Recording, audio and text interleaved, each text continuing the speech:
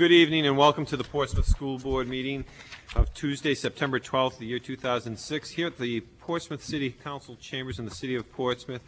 Going to ask that the superintendent have a roll call.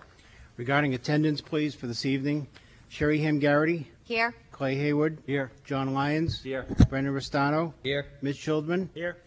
Carson Smith. Ann Walker. Here. Nancy Noveline Clayburgh. Here. Linda Brulette. Here. Elisa Lozier. Present. Ann Mayer. Here. And Kent LePage. Here. Um, In a moment, I'm going to ask that we rise for a a moment of silent reflection, as we always do, and then I'll ask that our new and returning board member to his first official uh, school board meeting lead us in the Pledge of Allegiance to the flag. Um, We were saddened that a, a, a longtime resident and uh, former employee of the city, Barbara Driscoll, uh, who is Kenny Lynch, Kenny Lynch's mother-in-law, uh, passed away this past week. Our hearts go out to them. Keep them, that family in your uh, thoughts as you have a moment of silent reflection. And it was five very short years ago that we canceled our very first school board meeting due to the national tragedy uh, that happened uh, in New York City and in the Pentagon and in the fields of Pennsylvania. Uh, It was a hard decision. We wanted to keep things going. I remember the day well, uh, meeting uh, with uh, both uh, City City Manager Bohenko, uh, Lyonel Tracy, John Lyons, and myself, and uh, to take that time to reflect uh, the tragedy that was uh, given to us, unfortunately, by terrorists. It is sad that that happened. We have moved on in life, but we must always remember those uh, that did uh, perish that day and those that continually fight for us for those freedoms. So as we stand, keep them in your thoughts and prayers today and your reflections. And again, I'll have uh, Clay lead us in the pledge.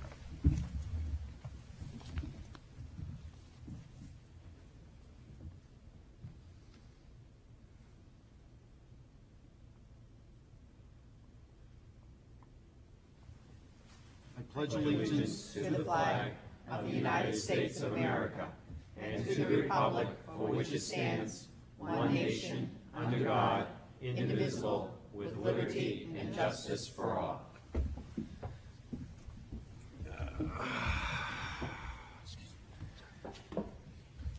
I'd like to, at this time, also uh, welcome, and I hope I don't butcher it, Gretel McAllister is our new reporter from the uh, Foster's Daily Democrat, and I'd like to welcome her officially to our first school board meeting and uh, wish her good luck. Item two, Secretary's reports. Uh, We have a number of them. Uh, Secretary's approved uh, reports for August 2nd, 2006, the special meeting. Is there a motion to accept? So moved. Second. Discussion. Yes. Um, I believe on the, uh, I'm sorry, I need to find the minutes first. Thank you. Somebody's a little more organized than me. Um, this was the Wednesday special meeting, is that correct? That's correct. And is everything that's listed below everything having to do with this August 2nd meeting? So anything on here has to do with Wednesday, August 2nd? That would be correct. Well, I believe I was absent because I was at the Red Sox game, so I don't understand how I could second all these things. So am I Mark that as a mistaken, and have or Patty am I correct the minutes? just confused? Swear I was at the Red Sox game. Uh, Patty, do the correction on that, and that's an amendment. It's a friendly amendment, so we'll look for a vote on that. Any other corrections or admissions? All in favor for the uh, August 2nd special meeting? All in favor? Aye. The August 8th meeting, any corrections, omissions? All in favor?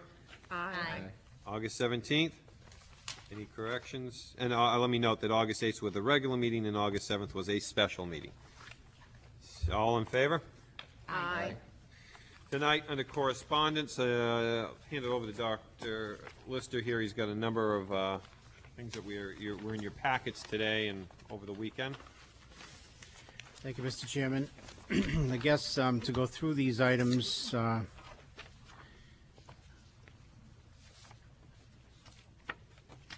there is uh, an an article called Education Update. That's this one here.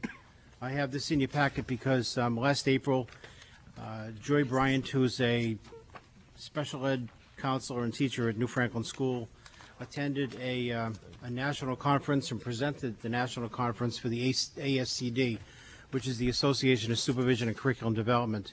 She's been doing some research on this topic of um, teachers and their relationship with children uh, and understanding and resolving student-teacher conflicts. So I just have this in here because this article is a result of her presentation. And um, it's on a topic that, uh, as I said, she's, has some knowledge of and has talked to other teachers and done some professional development activities with us. And uh, so I just put that in there so you can see what um, kind of research and what kind of professional development activities some of our teachers are involved in. The next item is um, this article out of the annual, 2006 annual report. Again, that's something that all the city departments um, have contributed to.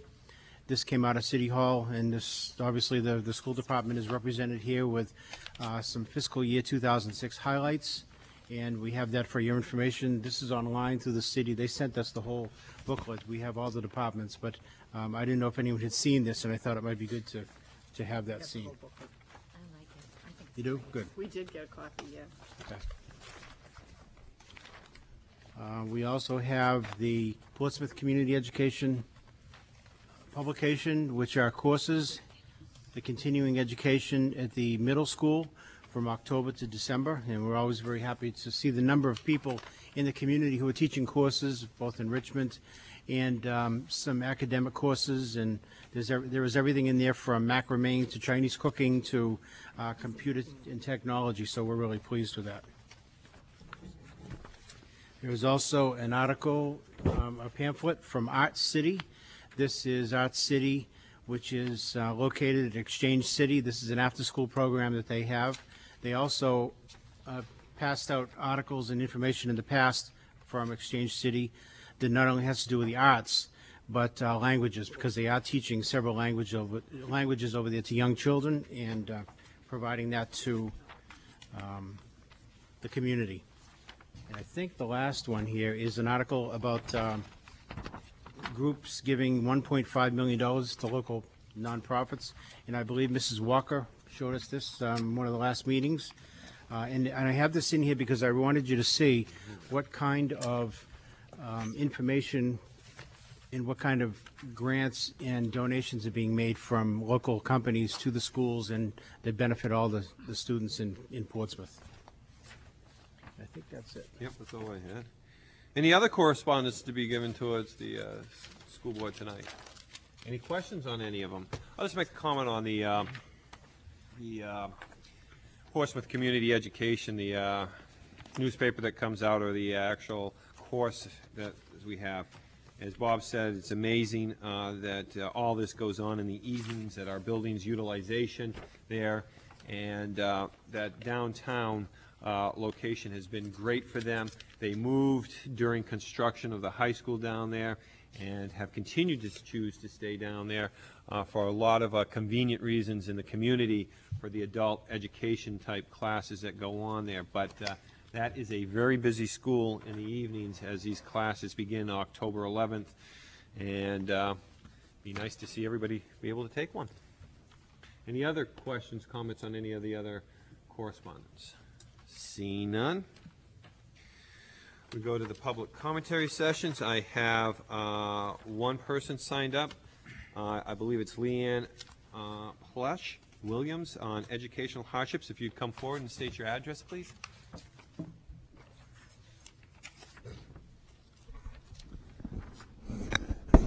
I live at, um, on Greenleaf Avenue. I'm here tonight applying for an educational hardship for my son Shane. I'm a single parent, um, with my parents being my sole support for him. Um, I understand that he needs to attend school. Um, hold on a second. Um, I'm, Take your time.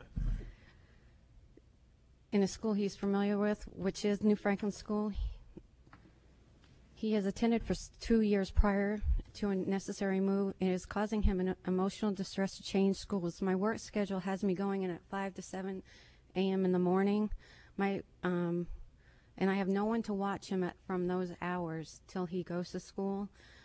Um, my parents have watched him in the past for me when we have lived with him. I'm requesting that since my parents babysit him while I'm at work, that he be able to catch the bus at their house, which is in the New Franklin School District.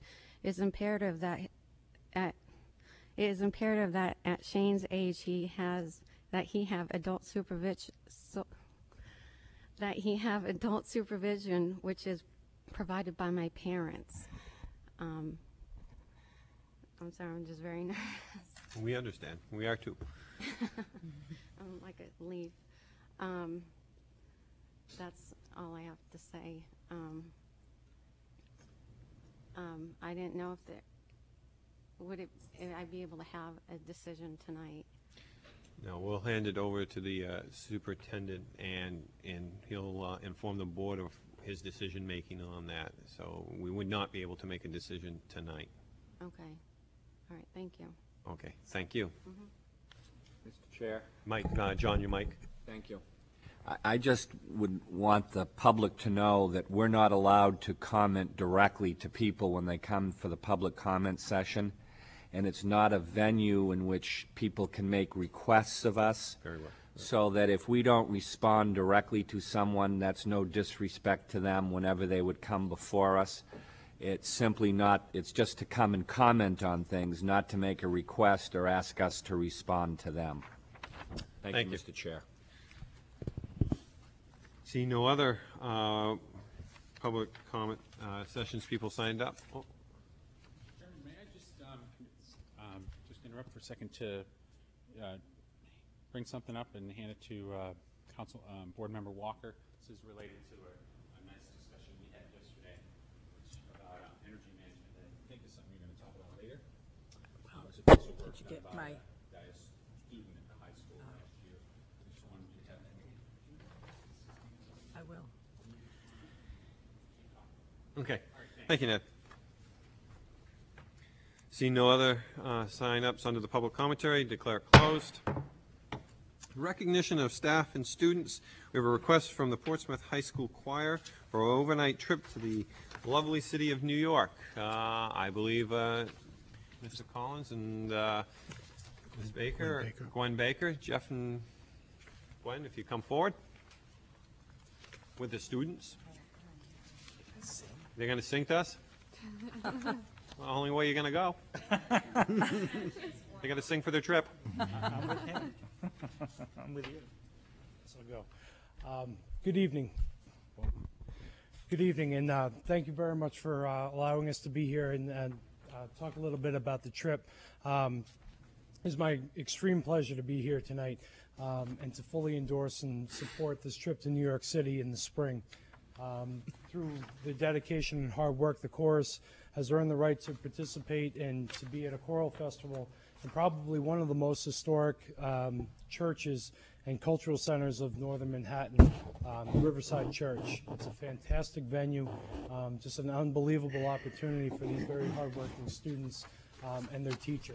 So I would like to introduce Gwen Baker so she can let you know a little bit more about the trip and uh, the members of the choral crew that are here tonight. Good evening, members of the school board. Uh, As I said, my name is Gwen Baker. I teach uh, the high school and middle school choral program, and I'm here with several of my students, one of which is uh, on your board as well, to ask your permission to allow them to attend the Heritage Festival of Gold, which will be April 12th through the 16th, uh, 2007.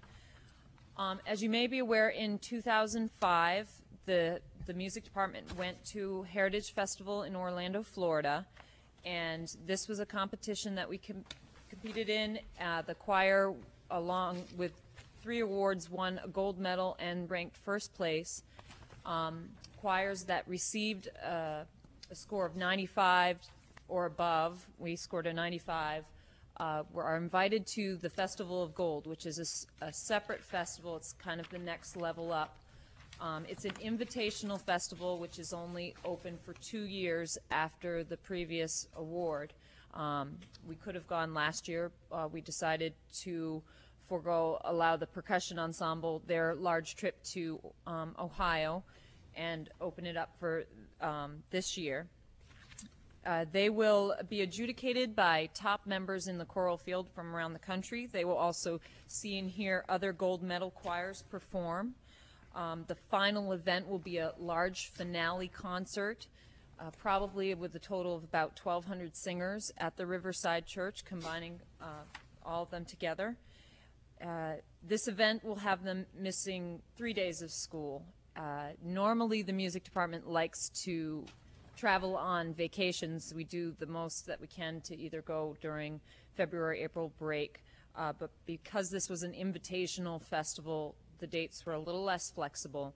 Um, So I hope that you will grant us permission to take on this endeavor, and I am free to answer any questions that you have at this time that I can. Questions for Gwen, Jeff, or any of the students? Mitch? Um, so what kind of, what pieces do you do? What composers do you do? Oh, they range from, from everything from classical to more modern 20th century. I haven't quite picked the pieces that I will do for this festival. I have just sent in the application to be a part of it, and they in turn will send me the pieces that will be part of the combined numbers. And from then, I'll pick the number, the music that we'll do as our own choir. And how much time do you actually get to perform? Um, we will spend an hour on stage with our adjudication group, our, the, the adjudicators, the adjudicators and clinicians, um, in front of the other choirs. And then we will, like I said, we will have our finale concert. The Heritage Festival also has a special kind of awards banquet dinner cruise that all the choirs will be a part of. And we can also investigate um, other activities that we can Right. do while we're there.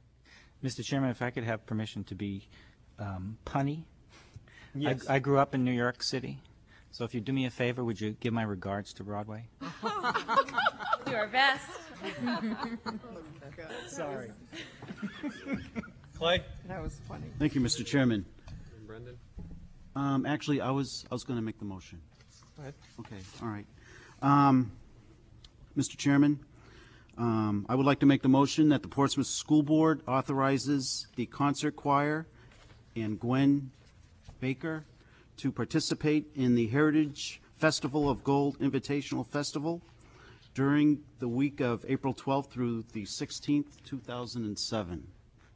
Second. Moved and seconded. Further discussion. I know I have Ann, then uh, Brendan, and John. Ann? Uh, My question was about the ratio for our students and chaperones. Uh, My understanding was it used to be one to five, is- and you have one to eight. Has that changed, or is that because they're high school students?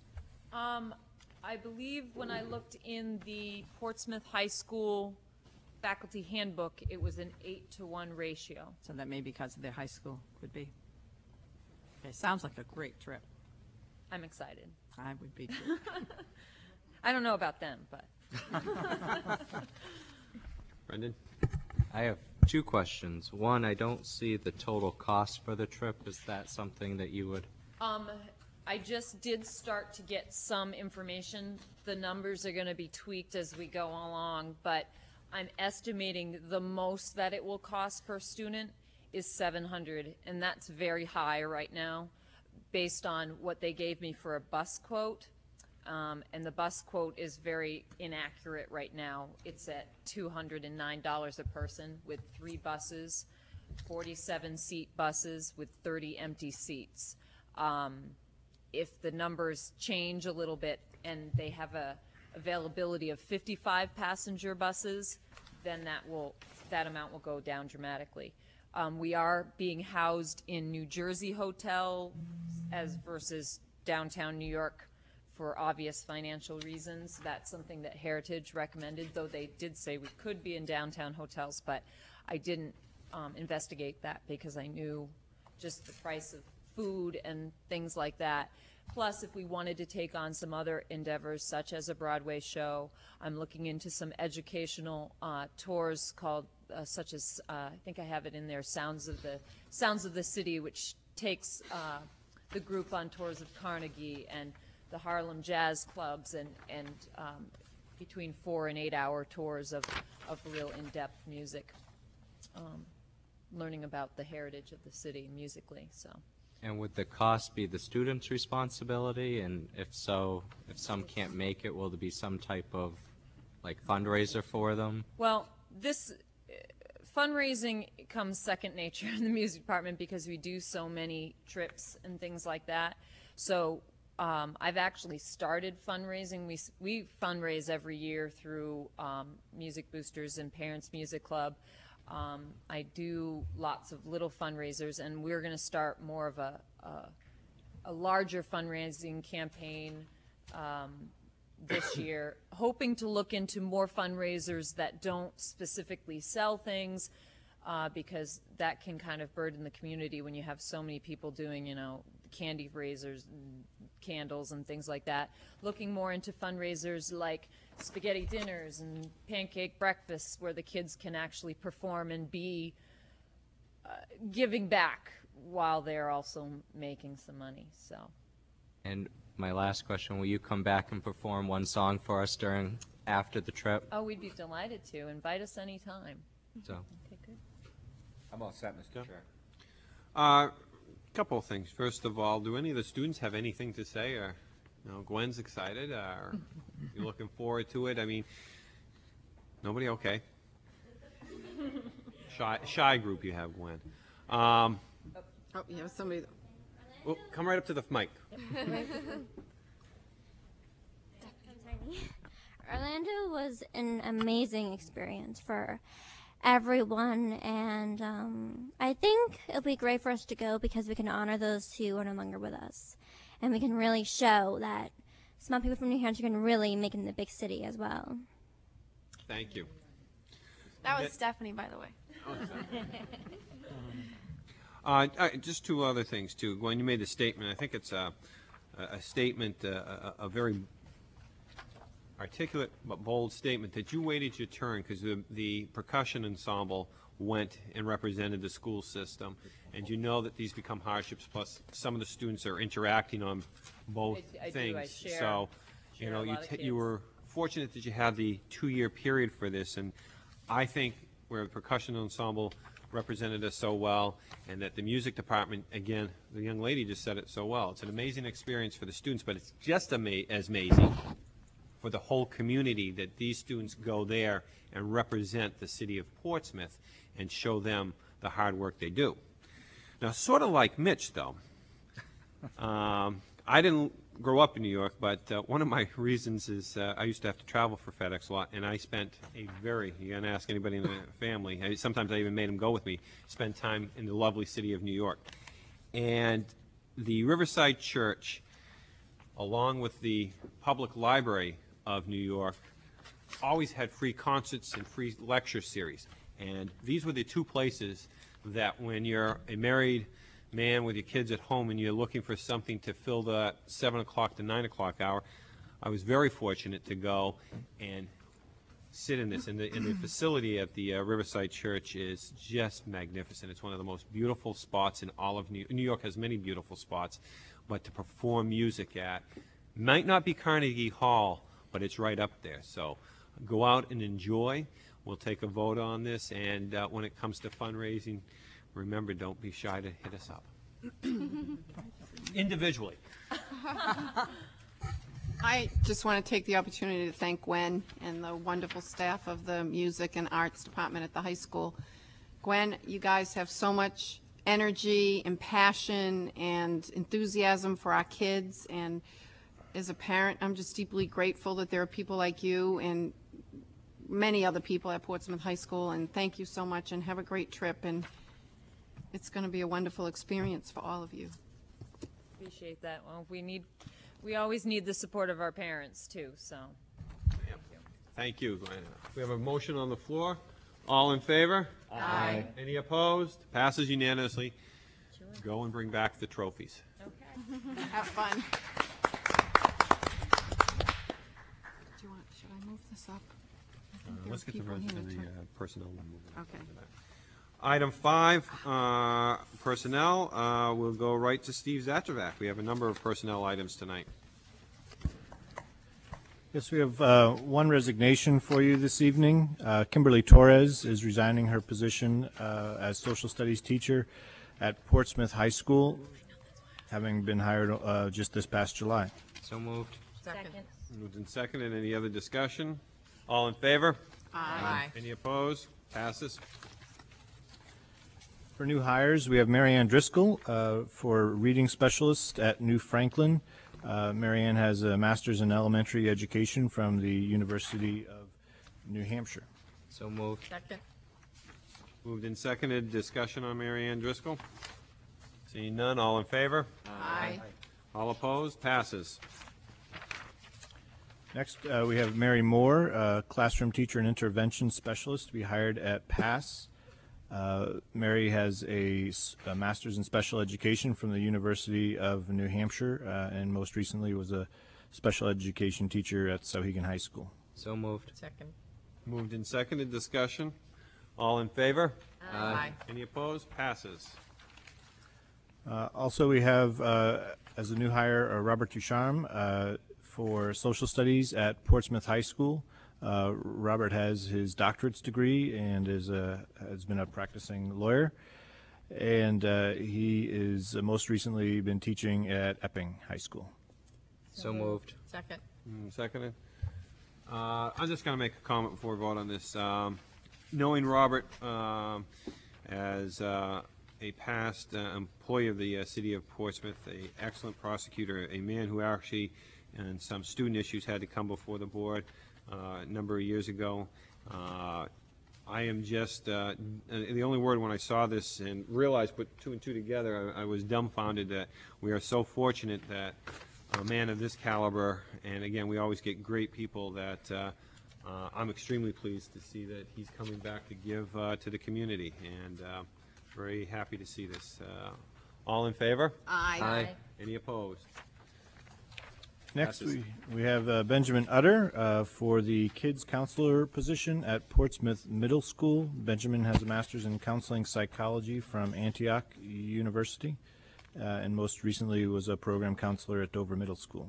So moved. Second. Moved and seconded, discussion? All in favor? Aye. Any opposed? Passes. And we have Nathaniel Hurd for the TV media teacher position at Portsmouth High School. Uh, Nat is a Portsmouth resident and has a bachelor's in education from Norwich University. Move to approve. Second. Moved and seconded, discussion? All in favor? Aye. Any opposed? Passes.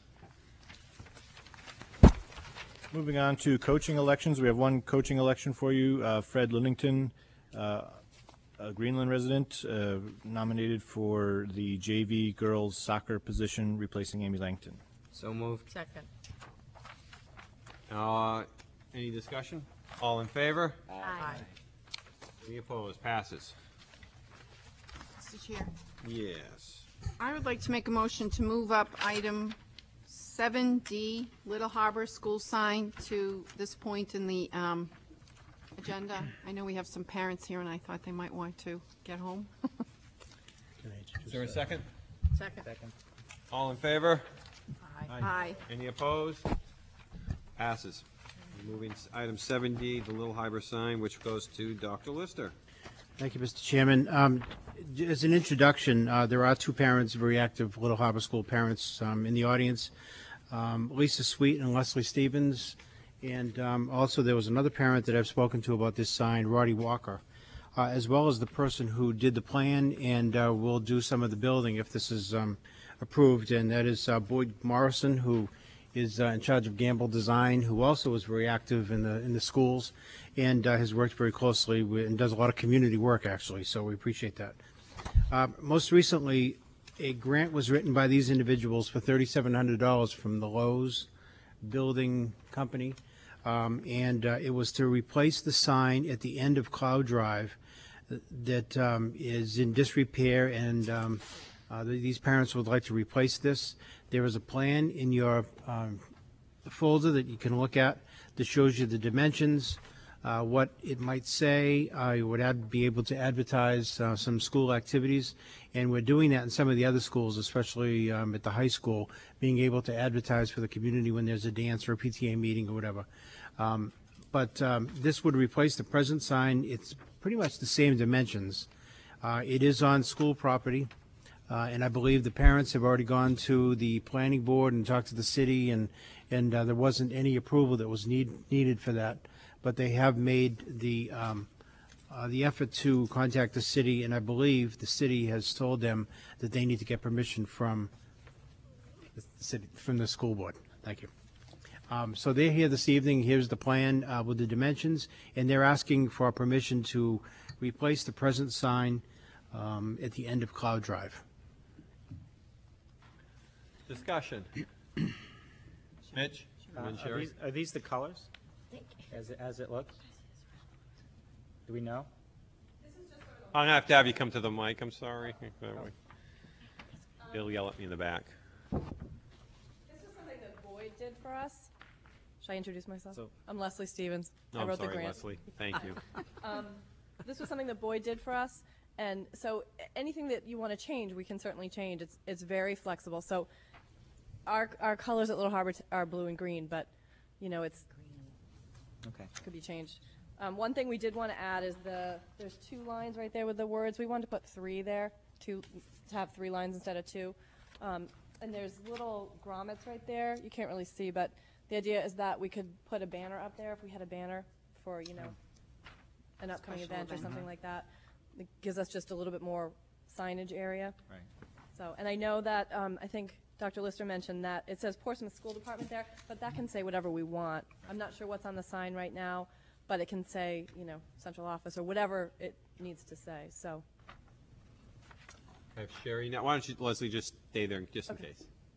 Um, Well, actually, my very first question was that I wanted to know if these were Little uh, Harbor's colors, but now I know they're blue and green. So the only thing I would ask is, I, I think the sign is a great idea. I love the idea of advertising the different things at that particular school also. Um, But I would like, I approve everything, but I would just like to um, see your final design of the sign, like, you know, if you did do it in blue and green, or if you did make up the final picture of how you wanted it to look, I would Absolutely. like to see that. But absolutely, I think it's great that you guys have taken this on as a project. I think it's wonderful.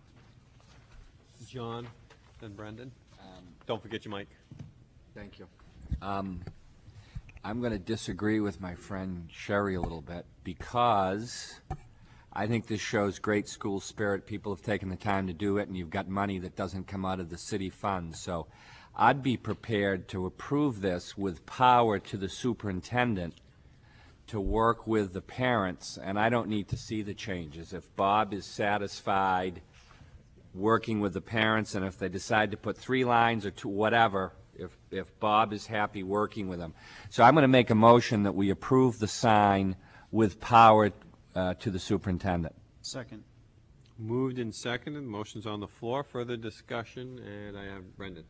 I was just going to ask about the grant. Is this something that you did all, just took charge, wrote it, and, and they approve it? Yeah, it's, it's through Lowe's, um, home, department store, whatever you call it. And it's something that, um, I got in a magazine through PTA, because I'm the president of the PTA, and I just saw the article about it in the magazine, and so I thought it would be a great idea to write the grant. Fantastic. Well, We just want to say thank you for taking the initiative and, and being one of those proactive people, so thank you. The other thing I wanted to tell you is one of the pieces of the grant is that we, um, we're gonna landscape the sign. And I, I think you guys know we do an enrichment program at the elementary schools that, um, PEP pays for. And one of the enrichment programs in the spring will be that, um, a parent's gonna come in and do seedlings and, um, start plants. And then actually do the lands, help do landscaping around the sign in the springtime. So that's a piece of the grant as well. I just have a question. A parent's going to actually put the sign up? Um, probably not put the actual posts in and stuff like that, but the, all the landscaping and things like that will be put up by parents and the kids. Well, I just want to thank Leslie and Lisa and all the other parents that worked on this. I've had the opportunity to work with both of you, and um, I know that having you two in charge is going to make it a great project, and I look forward to working with you guys again this year. Thank you, Nancy. Okay, I I have one question. Is the current location going to be the same location for the sign? Yes, although um, it's hard to see the sign from the road because the trees have grown in so much. Yeah. So we might ask the city if we can trim the trees a little bit to see it better. And, and going in that train of thought, I know that on the rec board, we've discussed that Clough Field is going to get some major renovations, so you may want to also just call Rusty and see, the, the rec board's meeting in the next two weeks, so a- a- again, it's probably discussion that as Clough Field, even though it's all right there, like you say, the trees have grown in, he, there may be some help there for you. Okay, it is on the opposite side Right, from yeah, it's the on that. field. Um, I thought it was at Little Harbor tonight, yeah, it's on the, as you come in on the As left. you're coming in, it's on the left-hand side and the field's on the right, but. Right, so he, but I'm just saying there may be some help there, because they're Okay. looking to redo the fields there. Great. We have a motion on the floor to accept the power to the uh, superintendent. All in favor? Aye. Any opposed? Passes. Thank you. Thank you for your work. Great job. Thank you. That puts us back um, under item six, which is committee reports, which gives us to the joint middle school advisory committee, and I believe Bob's uh, reading out to us. Doc? Um, If if I could just say a couple of words about this, we have had two meetings, uh, meeting about a week and a half ago, and um, Mrs. Grasso, Joanne Grasso, is is the chair of this um, committee, and the purpose of the last meeting was to have a presentation from John Stokel, the middle school principal, to talk about the middle school concept, grades six, seven, and eight. And uh, next time we meet, which will be September 20th, uh, we have Bob Sullivan coming to talk about uh, the PS Trust. Um, We're also looking at the uh, individual sites that have been recommended, and uh, we're working very closely with the city. And uh, I think the last meeting we had was very productive. Um, It was, um, I think, very, um, it was well-attended, and um, we're having some good discussions about building renovations um, and uh, different sites around the city. So we're optimistic that we're going to be able to continue this work. Uh, We're meeting, I believe, on a monthly basis, and um, there were probably other people that attended this that might want to say something. Maybe Sherry, if you want to add something, or, um, or Mitch, uh, Dr. Schulman was there as well. So if you'd like to add anything, um, the notes for the past two meetings will be in your packets, I believe, next time we meet. Um, And also, the, the other issue that we dealt with last time was talking about what the charge of this committee is. And uh, today, met with the mayor to go over the charge that uh, we came up with, and he's, um, I guess, editing that. And uh, will get back to us, and, and uh, that'll be ready for the next meeting. But we're moving along, and, and uh, we're having, I think, productive meetings. I have Nancy, I don't know. I was pleased with the spirit of the committee. It seemed like everyone was, um, had really, was, re- is really buying into this and um, having good, honest, frank discussions. Everyone seems to have an open mind. Um, We had a great discussion um, presented by John Stokel about the concept of, you know, the true middle school, which is grades six, seven, and eight. And I, I, I was very pleased, and I feel that the committee is going to be very productive and, and be very, um, um, and have a, a positive outcome. So I was very enthusiastic about the first two meetings. I don't know if others want to comment, but um, I'm very excited about it. Ian?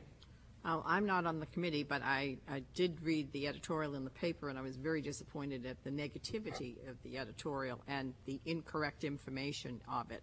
But in talking to people around town, both people on the committee and just the general public, it's a very positive, upbeat feeling that, that people are looking forward to getting things going at the middle school. So I, I'm feeling very positive about that as well. And so you just ignore that negative editorial and move on.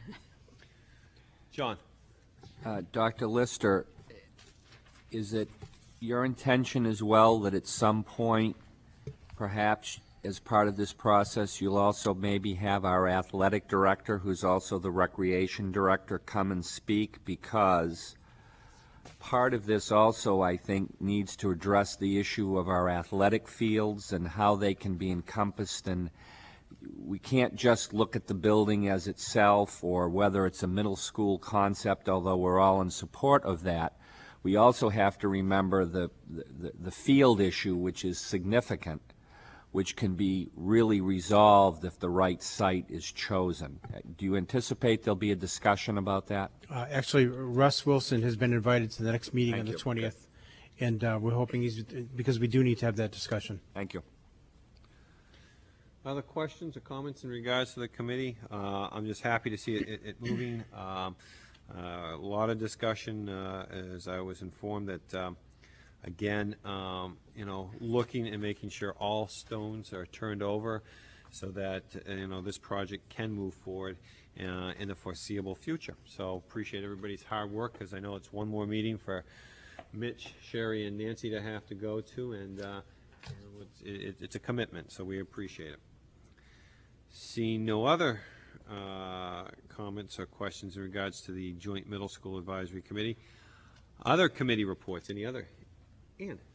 Well, I am your representative on the Committee for Sustainable Practices for the city, and um, I did mention that a while back and said I would bring you any information. Uh, The, the city has actually been doing a bit more than we have done in terms of uh, having uh, an energy management consultant. And I would kind of like us, and we'll talk about it more at the next meeting because I know it's on the agenda for the meeting at the end of the month, uh, that possibly we might be able to do the same thing, to have an energy management program and, and to be proactive in terms of trying to save some money. My big question is, has the money already gone back to the city yet? The money that was left at the end of the year? Has that gone to the city? Or do we still have it? Because if we have it, we could maybe spend it, but if we don't have it, then we'll need to.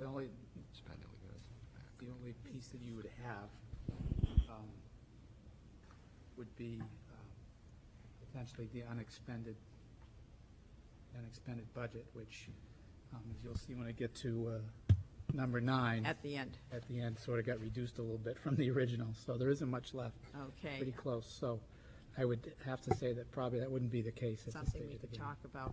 The other thing was, this, this is a booklet that Councilor Reynolds brought to me that he mentioned. One of the last year's high school students had done uh, uh, an independent study on uh, energy uh, savings at the high school. Uh, Marta Lyons, any relation? No, but I like the name. And uh, good. obviously, I haven't read it since, Yeah. since it was just delivered, but, uh, but that might be something that we can look into and talk to uh, at the next meeting when we talk about energy savings, but just something to be thinking about. John? Mr. Chair, if I may ask uh, Board Member Walker, is this energy consultant someone that the city has coming into its buildings? They did, yes. That It's already happened? I happened? believe it already took place, and I'm not sure if it's ongoing, and I'm not sure how, whether they did, I know they did the Public Works Building, and they were talking about some of the, uh, the vehicles.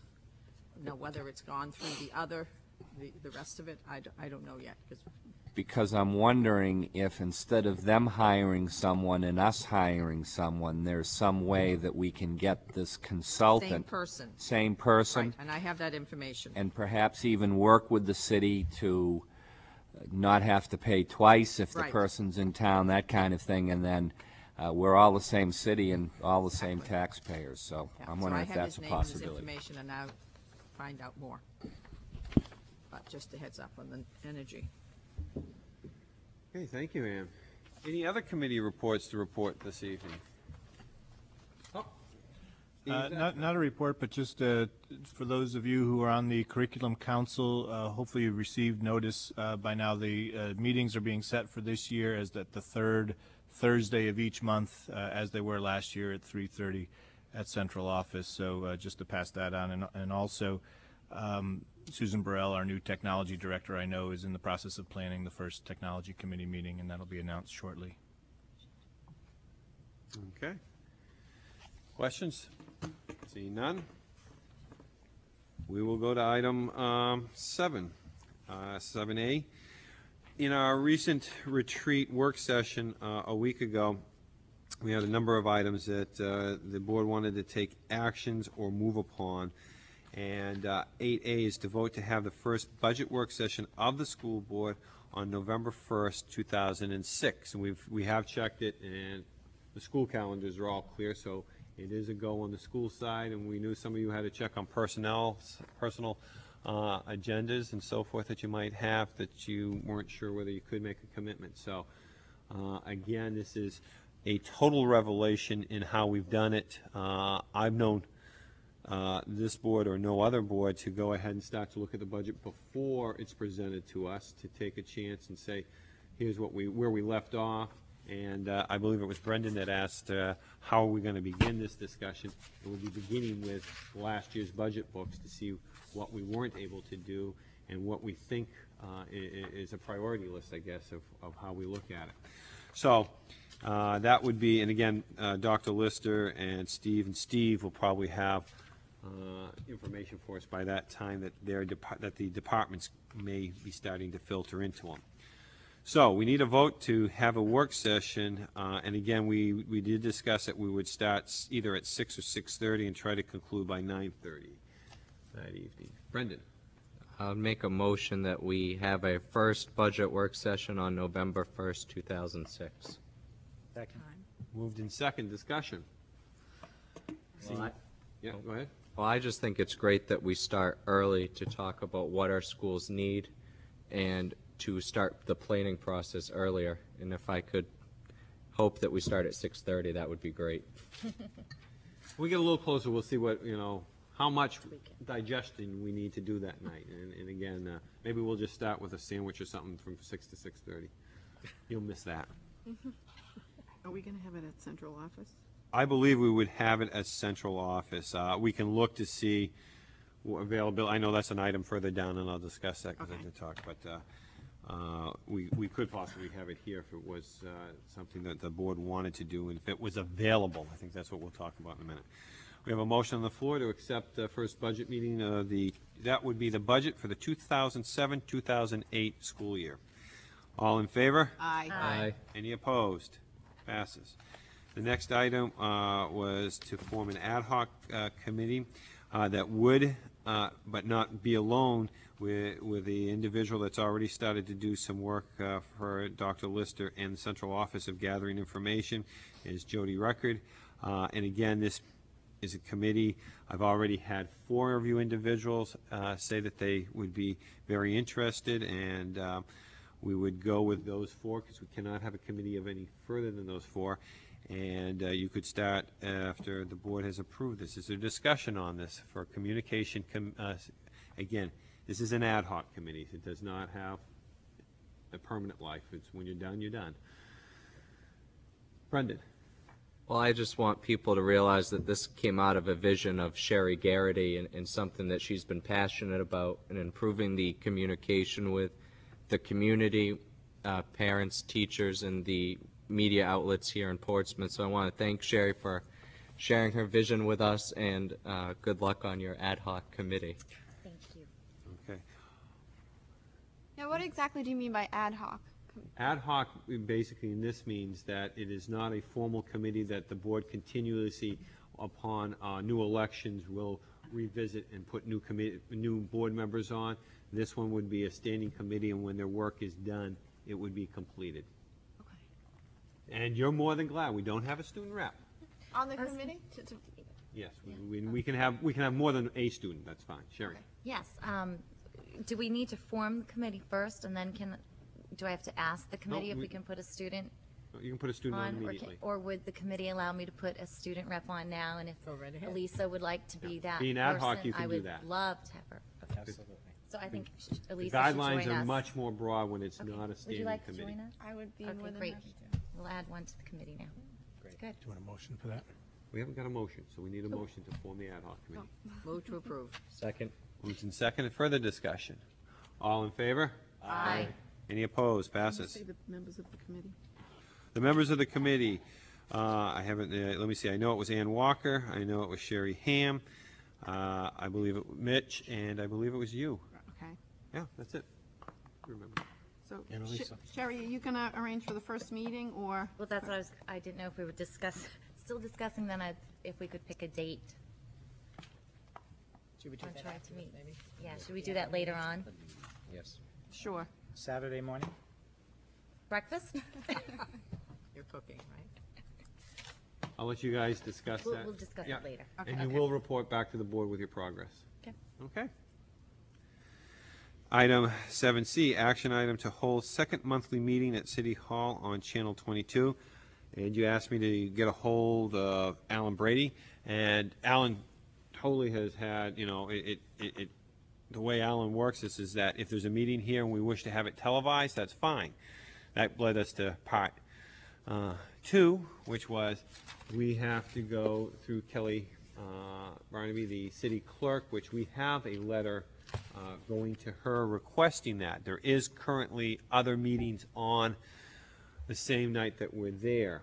Not always, but the majority of the Tuesday nights that uh, we are to meet, there are other meetings in the chamber here that are televised. So we, uh, we, I know Kelly, since we met last week, Kelly was getting ready for the uh, primary election, and um, We did send her the letter. You did send her the letter, so she's got the letter, uh, and we'll hear back shortly to it. And then, uh, if allowed, we could meet here, but if not, uh, I think there are some secondary things that we can do that will allow uh, the media departments to maybe film and try to fit them in. Alan was not objective to that. They do have new camera equipment. It's a matter of a little bit of a cost to that, but it is in their budget and not, does not come off the school budget. But Alan and I had a very nice discussion uh, last Thursday on this.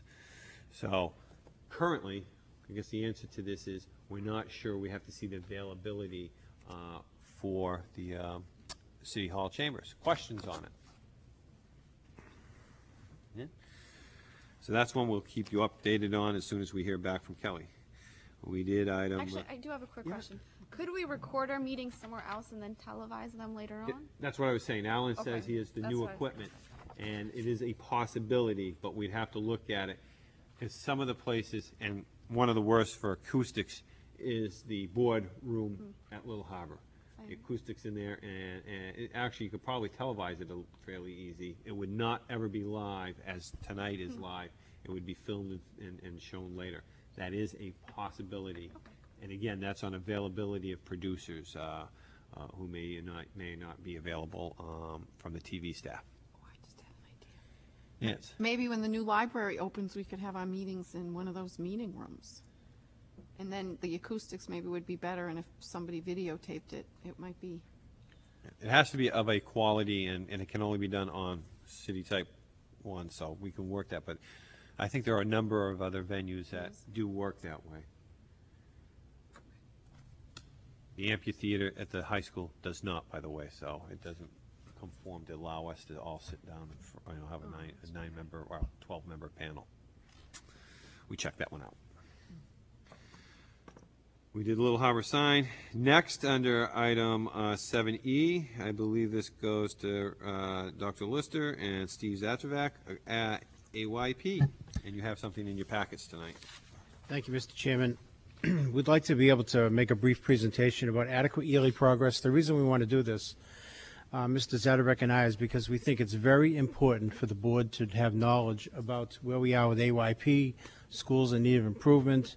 Uh, We've um, spent some time, uh, and we're going to talk about the curriculum council, we're going to talk about the dropout rate, we're going to talk about um, the relationship and the com- communication we've been having with SAU 50 around curriculum, um, because um, it's very important.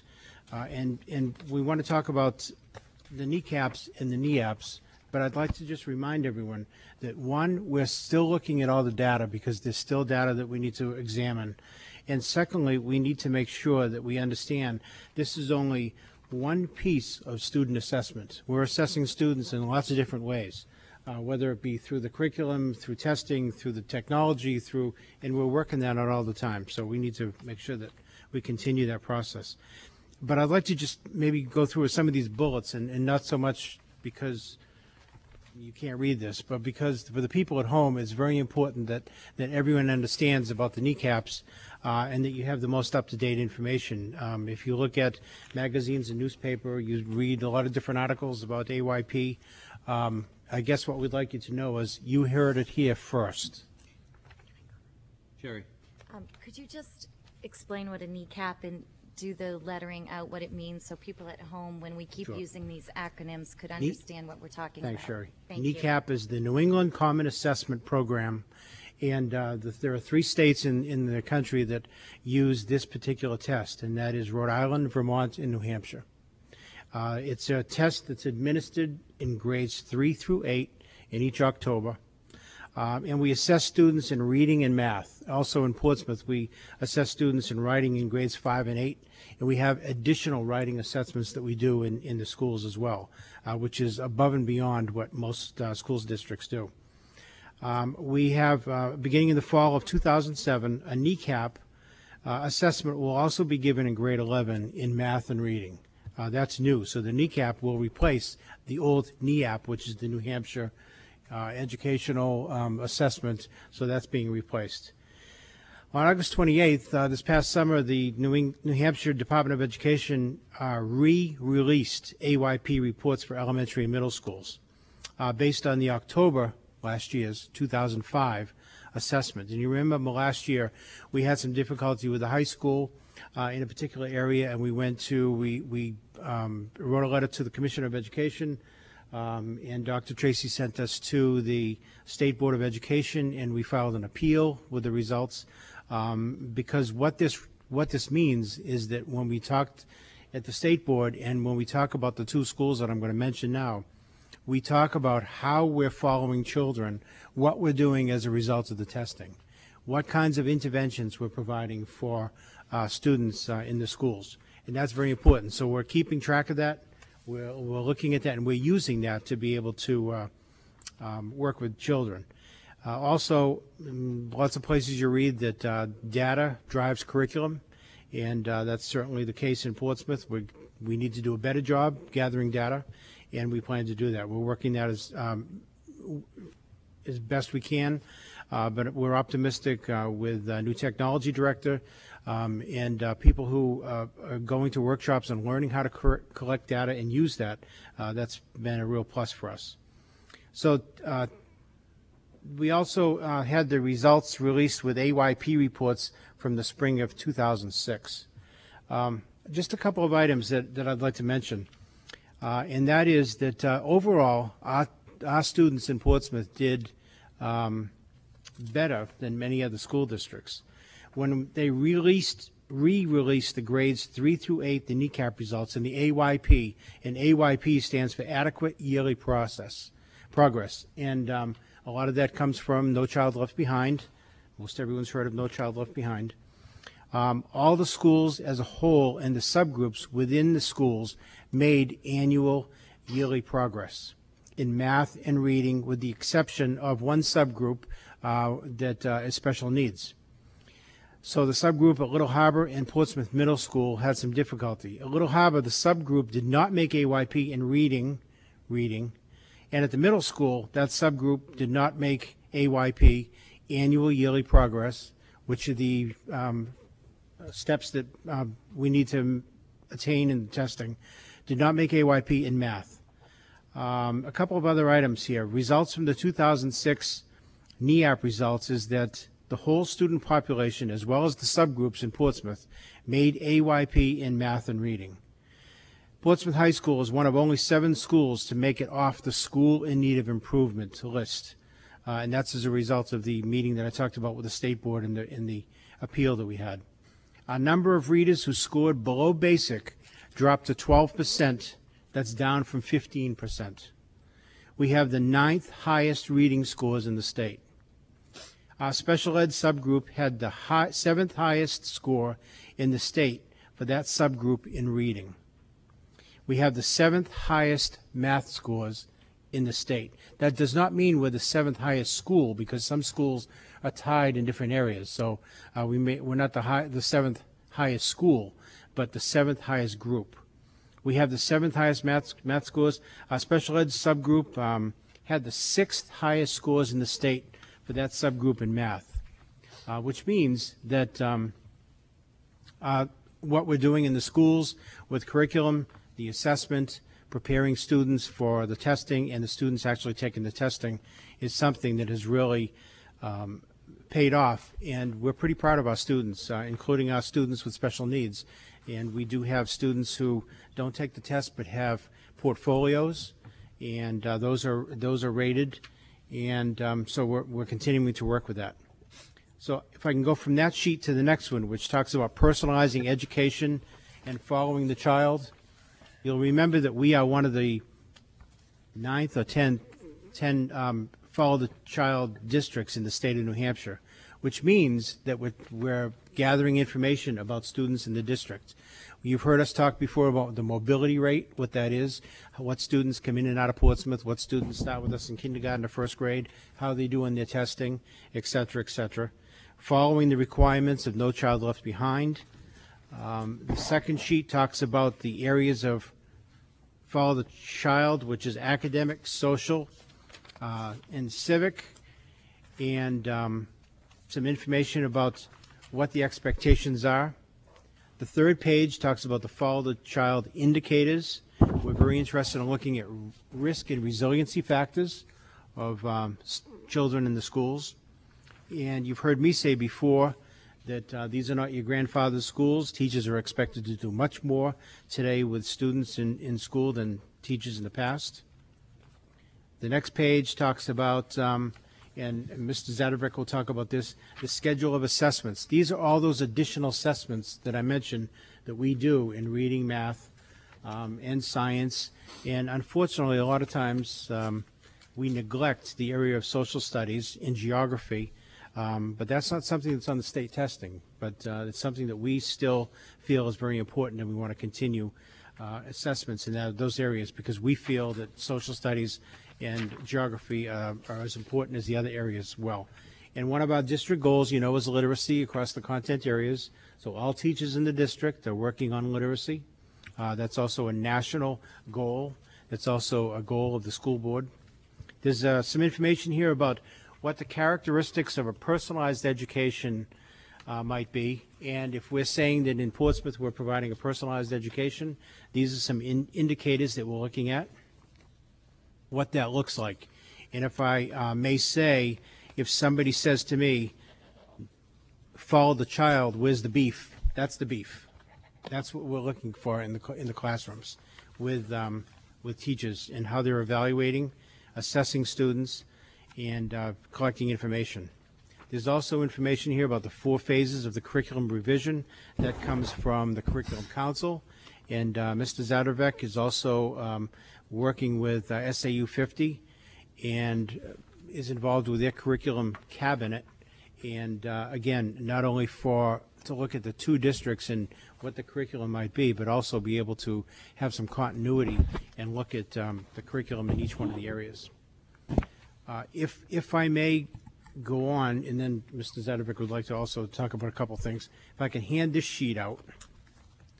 This is, you'll remember one of the last meetings, and this has to do with Follow the Child. It has to do with providing a personalized education. I mentioned last time that our dropout rate for last year was 1.23%. 1.23%. That's 14 kids dropped out of high school last year. Went over, I went over to the high school last week and met with the guidance department and looked at those 14 students who dropped out. And what you have before you is a list of those 14 students. There are no names here, so you won't be able to identify them, but they're listed as student one, two, three, four, all the way up to the, out of the 16 students that dropped out of the high school last year, there was 16, four students have returned in the 2006-2000 school year, seven school year. So what does this have to do with AYP? What does it have to do with Follow the Child? If you look at each one of these um, narratives or profiles of each one of these students, we're looking for when they entered the school, where they went to elementary school, when they dropped out. We've done some interviews with some of these students, and basically, um, and if you look at national statistics about dropout, you'll find that, that kids drop out of school because they're, it's, they're disinterested, they're bored, uh, they don't have any connections, those kinds of things. So we've talked to some of those kids, and that's exactly what they tell us. I didn't feel connected. No one ever talked to me. I didn't feel as school was boring. Um, so those are things we need to take into consideration. But in part of the follow the child is to take each one of these students. You see what interventions have been initiated, some of the difficulties these students have had. Um, and uh, there are several of these students. Remember, 16 dropped out, four returned. Several of these students, in talking to some of the elementary teachers, when I found out what elementary schools, second and third grade teachers told me, we knew they were having trouble in the second and third grade. Uh, so we would go back to that risk and resiliency factors and uh, why some kids do so well uh, and why some kids have difficulty. So follow the child. We're interested in not only as students go through the school system, we're not only interested in how they're doing on the NECAPs. Um, that's one assessment. We're in, invested in these other assessments that Mr. Zadravec will talk about.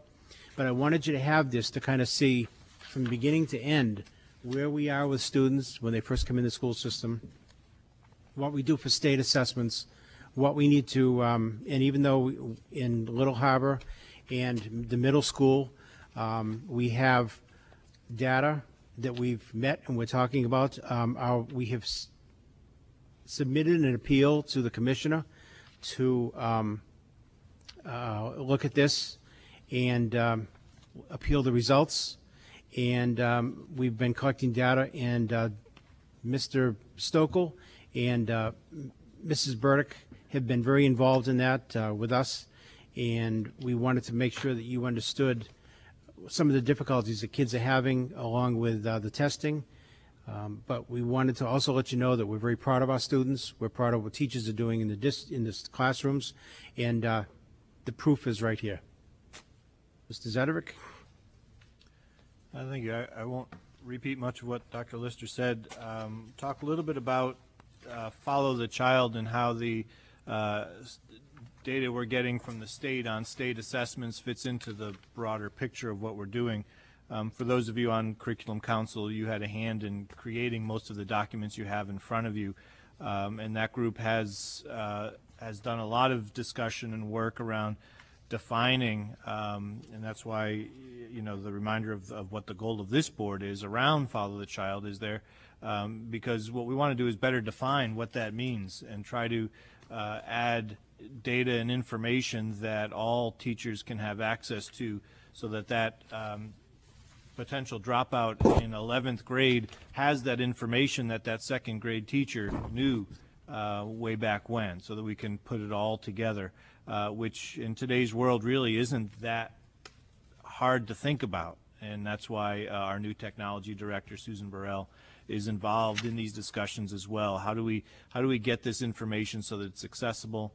How do we get this information so that uh, people can use it uh, not only to inform their instruction uh, uh, for the curriculum, but also to help deal with all of the other aspects that students bring to the classroom, the physical, the social, um, and the personal issues that they have. So uh, the one page that I'll address in a little more detail is that schedule of assessments that's in the packet you have. Uh, And this was created last year by pulling together information from all of the schools where assessments were given uh, to a grade level in a particular subject. Uh, Because we, we certainly realize that the data and the information we get from the NECAP or NEAP tests only provide one snapshot of what student performance really is about. And what we're trying to do is create a photo album of what student performance is really about. We need to look at a variety of different uh, forms of data. And so we looked at what are those things that we have available to us so that we could start thinking also about what are some of the pieces of data we don't have but we'd like to collect. Um, and our task in front of us this year, having done some of the, the work of fleshing out this framework, fleshing out some of the things we'd like to look at, is to go out and collect it and really start analyzing it and putting it together. Uh, and we're in a great place to be doing that. And so uh, at the uh, principals retreat last week that Dr. Lister uh, had with us, uh, we talked a lot about okay, what are we going to collect this year? What are we going to um, start putting together? We can't create it all at once, but what are some of those things that we can start putting together so that when we say follow the child, um, it's a very systemic thing we're talking about.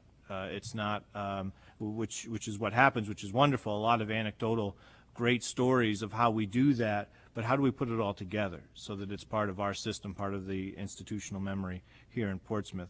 And so, um, so we're going to be looking at uh, academic assessment data in addition to the state assessments that we'll be putting into uh, a database of, of information on students, as well as some of the other indicators that are going to be maybe some of the, the risk and resiliency factors that Dr. Lister spoke about. Maybe attendance uh, patterns is something we want to also look at when we talk about student performance, uh, as an example.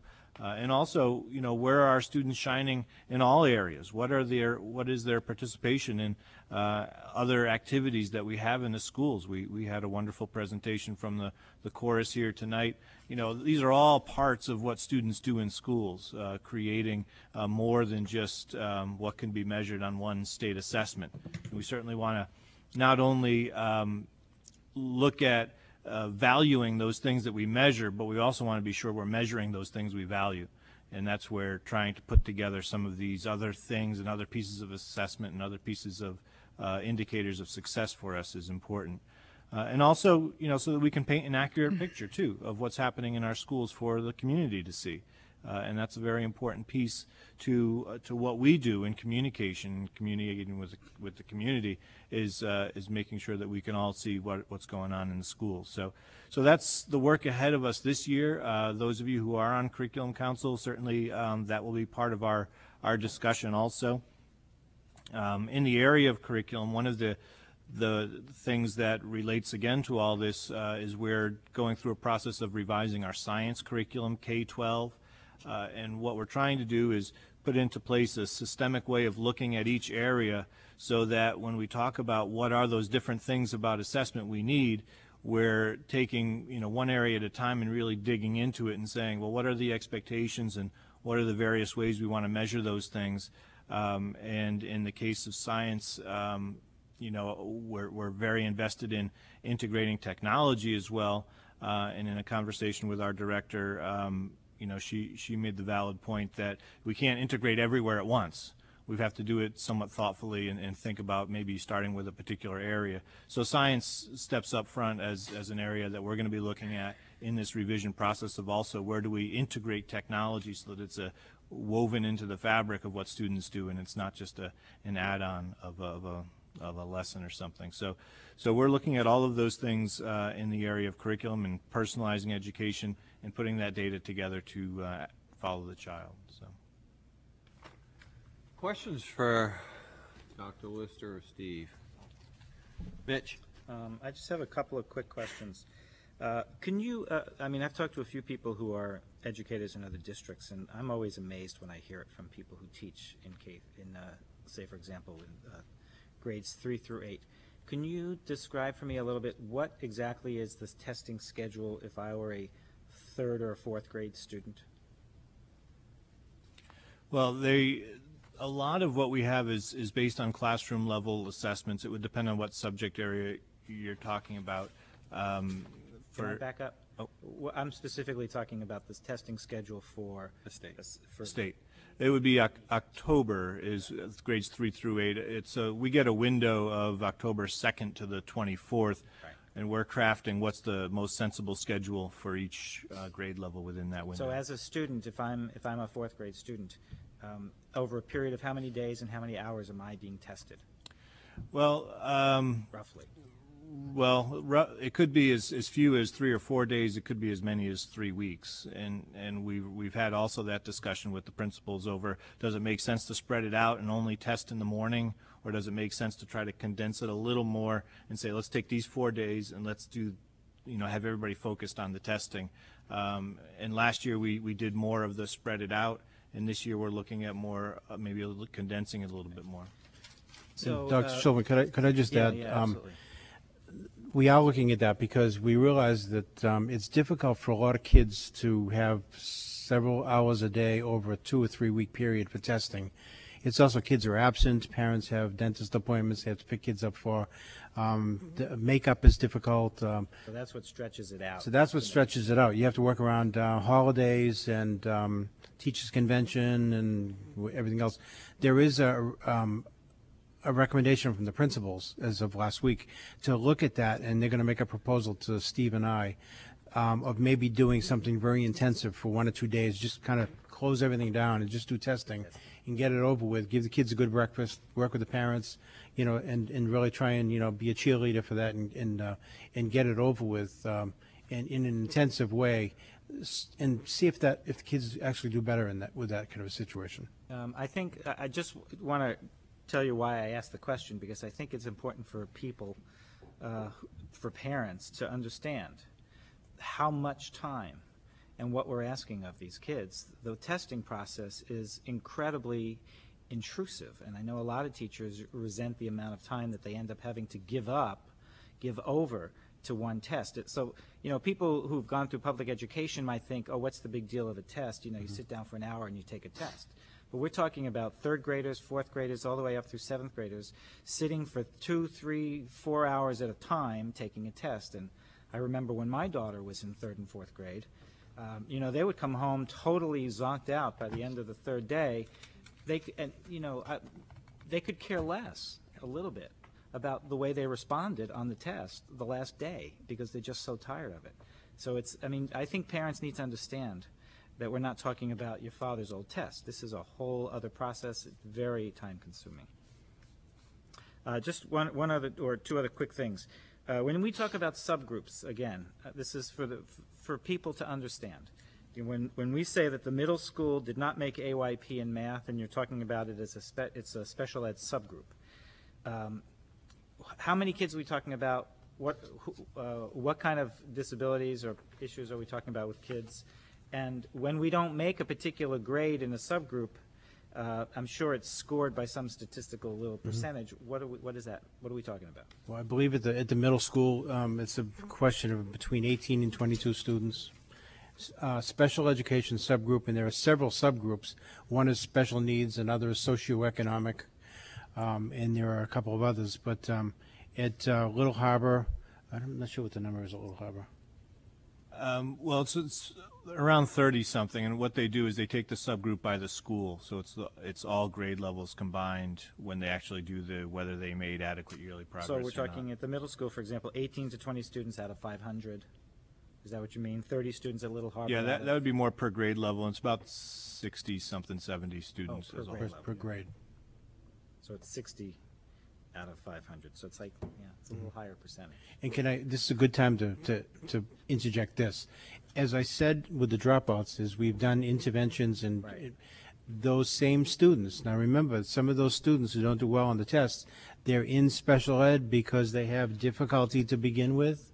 And some of them, so they're held at the same standard, um, except for those students who they, uh, it's decided that we do portfolios.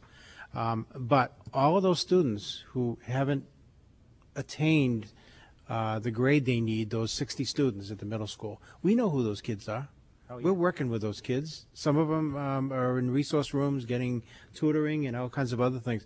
Uh, I could give you uh, the 60 kids, uh, a list just like I did with the dropouts, and show you that we're working with all those kids, but they're not attaining the grade that's required.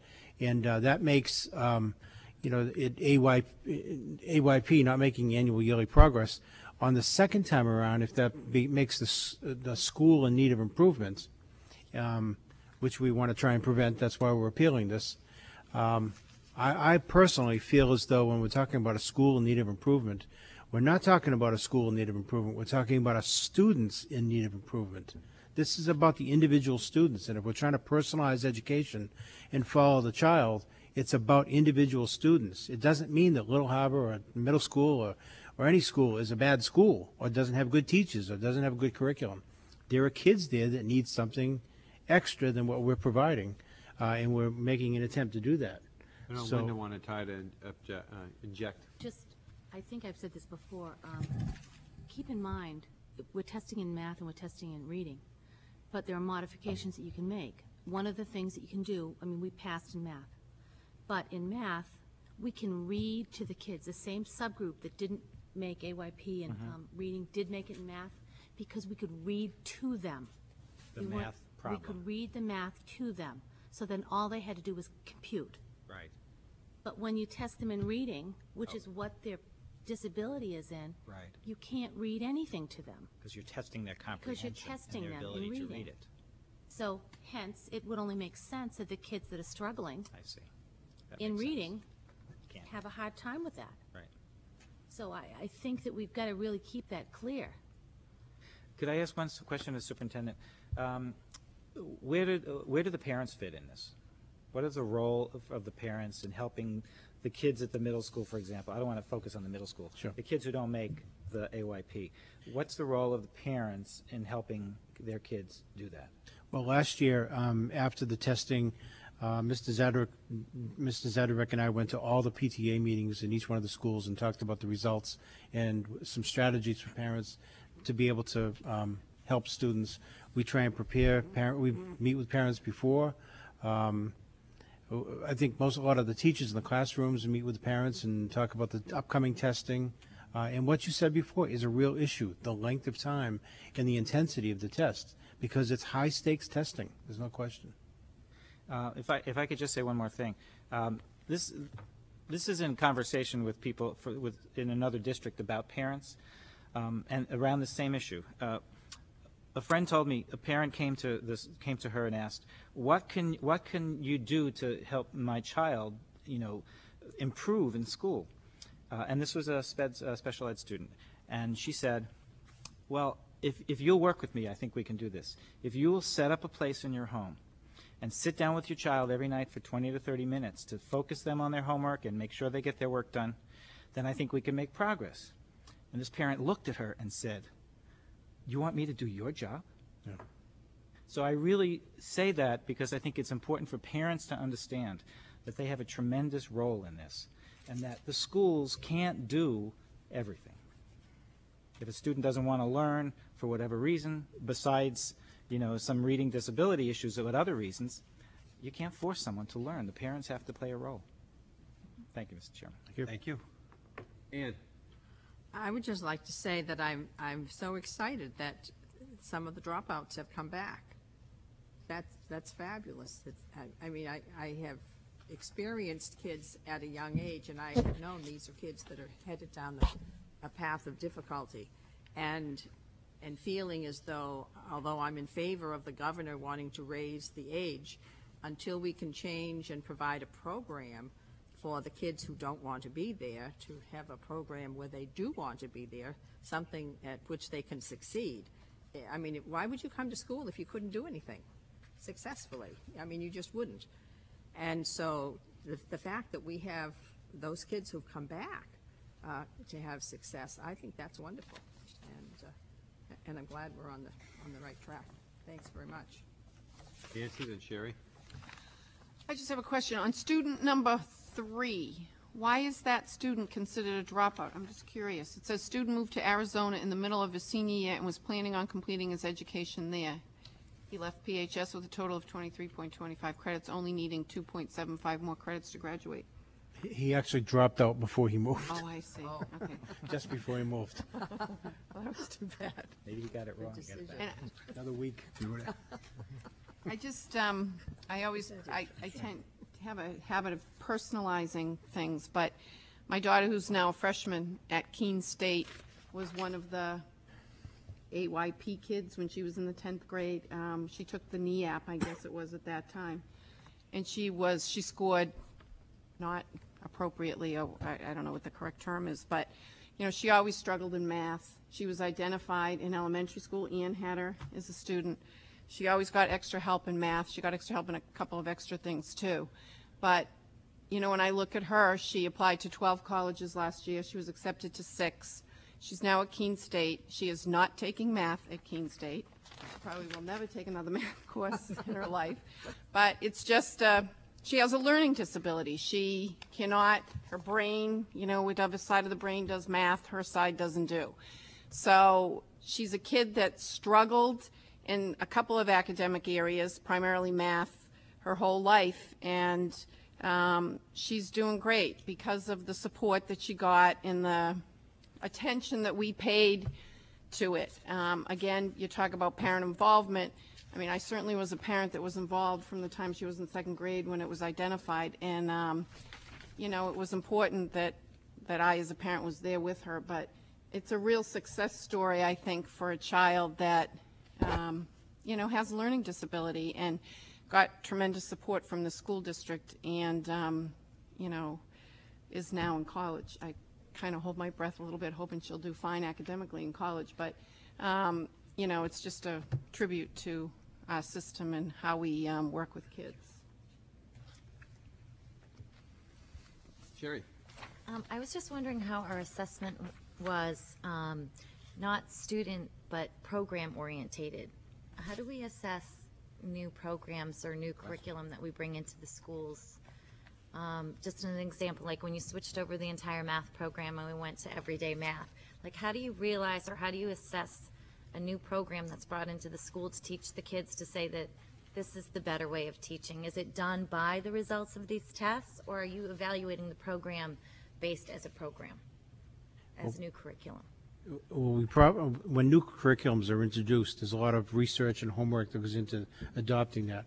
We probably don't do enough program development. I mean, we've said several times, we need to look at everyday math Um, There were some concerns about special needs students and, and uh, the way they learn because it's a, it's a language-based program. And some of those kids don't do well in reading, but they're in a language-based math program. So we need to look how the- do we assess the program as a whole, like teaching everyday math? Like a year after, let's say you brought in everyday math, and I don't mean to pick on everyday math at all. Um, But you bring it in, you teach it, you've been doing it in all the schools, it's been underway for two years. Like, at the end of two years, do you say, okay, let's evaluate everyday math? How have the kids been doing in everyday math for the past two years? Is everyday math a better way of teaching our students math? I I So think, how do we evaluate the I think the best way to do that is, is, ask teachers. Is that, okay. ask Do- teachers. So do we have an evaluation we- program of Well, I would say, do we ask programs? teachers? Yes. Do we talk about that? Curriculum council, staff meetings, professional development. We have, uh, we've talked about everyday math at uh, PTA meetings, PTO meetings. We've, um, and, and look at what some of the grayer areas are. Um, We do the same thing with the uh, balanced literacy. Uh, We do, we're doing the same thing with the aspirations program uh, all those things. You just need to keep a dialogue open about that because, again, we could have all kinds of written procedures and protocols about how to test a program. The best thing to do is ask a teacher. That's what I think. As long as we're doing that, okay. I'll ask my teachers. Other questions in regards to AYP and our, our testing? Yeah, I just have one other thing. I, Sherry, on your committee, on the new committee we just formed, this would be great stuff to put into an, uh, some kind of an article to put in the paper, or, you know, if we could, if we could all, of the four of us, and Jody Reckett and Elisa, if we could all, you know, condense this to um, a language that the, you know, the, the regular person, yeah, the general public, because I mean, it's, ev- this, some of this stuff is kind of confusing, I think, so if we could work on it and, and condense it to a- an article that people could understand, I think that would be really valuable to get our message out. That's a great idea. Bob. Um, If, if we're finishing up with this topic, I'd just like to say, I appreciate the work and the help from guidance uh, and the teachers that provided this information for the narrative. Um, I think that what Dr. Schulman said about the parents is key, it's crucial. Uh, Let your kids go to bed early, give them a good breakfast, make sure your dentist appointments aren't on those days, all those things that sound like no-brainers, but they're really important. Um, and the last thing I want to say about dropouts at Portsmouth High School, uh, and I believe this in all the schools, if you drop, want to drop out of high school in Portsmouth, you have to work at it with everything that we provide with kids. I think you have to work at it. And I appreciate the questions, because we want to continue to pro- provide this information to you. just, a- I have just a couple of questions, uh, both on the dropout uh, and uh, the New England Common Assessment Program. Because, you know, I've lived through the changes on this, and there were reasons why they went to the New England Common Assessment Program with, you know, the three states that are involved with this. The three states involved with this uh, had common goals. The commissioners of education at that time met and uh, discussed these goals. Is there any desire for them to sort of now look at this data commonly and see how the schools are doing comparatively? I mean, I'm not one to compare Mary to John or John to Dave or however it may be looked at, but we need to know how this assessment is working in those other states participating in this, because I think it's a good trend. When I went out to the Education Commission of States, they were extremely impressed that Rhode Island, Vermont, Rhode Island and New Hampshire were both there, and Vermont was asked in uh, of, of doing this, that there was a collaborative measure to be done. And I use the word measure because we don't know a measure that has come back showing how the Vermont students are doing to the New Hampshire students or the Rhode Island students. And, and again, I'm not looking just for comparison, but maybe there's educational trends in those states that would be worthwhile to throw to New Hampshire or vice versa. So i- is there any discussion that way? Steve or? You wanna answer that? Yeah, I was just going to say uh, that that definitely is part of the discussion. I mean, just now that data has, you know, this year started to come in, and, and there's a, a lot of discussion. Not not so much in comparing one school to another, but certainly the way a state approaches their uh, curriculum frameworks and, you know, what are some of those things? And people are already talking about what trends, you know, they'll need to look at in the future. So, yeah, that's, that's definitely something that this assessment provides that uh, just a state-level assessment doesn't. Because I hate, and I know Sherry said, we're not trying to pick on everyday math, but it's one out there that gets some uh, observations. But I don't know if Vermont does everyday math, and I don't know if Rhode Island does everyday math, but if all their students scored lower than New Hampshire, uh, than us doing everyday math, then we have a comparative of something that is or isn't being done. And I know we could even do that statewide, because I don't know what other districts do do, um, you know, everyday math within the state. But again, trends are what you look for. And education, I heard it well said, is not a science, it's an art form. It's a constant change. You've got to look at it at, at different angles at all the time because things change. So, uh, again. And the last, yeah? Oh, I'm sorry. Mitch? Um, Just two things. One is, uh, I- I- your point is well taken, but I'm not so sure that you could make, you would want to make that kind of a statement, to think that if we're doing better than the other schools and we're doing everyday math and they're not, that then everyday math must be better. Well, I'm just using it as a But as an example, but the point is well taken. And the other question is, are all the states, those three states, do we all grade and score the tests exactly the same way? Yes. Yes, measured progress does. The same, the same, the same companies So doing when the we testing. look at other states and we compare them to It's us. the same test. It's a valid comparison. It's the same test, same grading, same Yeah, scoring There's process. no difference. As a matter of fact, it's the only region doing it that way. And when we were down in uh, Education the Commission, it was, you know, a big discussion that Rhode Island, New Hampshire, and then Vermont jumped in on it. My last um, uh, question here is that, and, and the dropout is an outstanding, first of all, to have only 16 students uh, in, in the 2005-2006 year. Of course, we all would like that zero, but is that we don't have an adequate tool to measure, like, I think Nancy brought it up, this, this student moved to Arizona. We don't know if that student went back into school. Uh, And, you know, the, the first one that attended uh, Wells High School and then came here, and uh, so much work was done on this student at the uh, guidance level, and uh, a, a lot of other departments working with a uh, student that had problems. Uh, He or she may have gone and obtained uh, an education elsewhere, began schooling elsewhere. We don't have that data. Would that be correct? We don't know if they've entered into any other schools, whether they're in-state or out-of-state. Is that a That's correct correct. statement?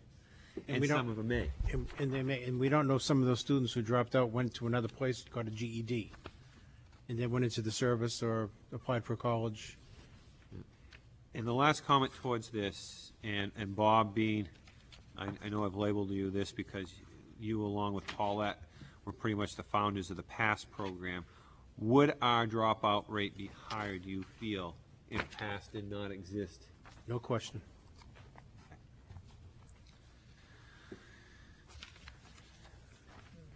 Lastly, let's see, proposal of education, oh, I'm sorry, you're up again, Bob. Item seven F, proposal for the Portsmouth Education Foundation. And I will be brief, but I'd just like to throw out a concept or ask the board about a concept.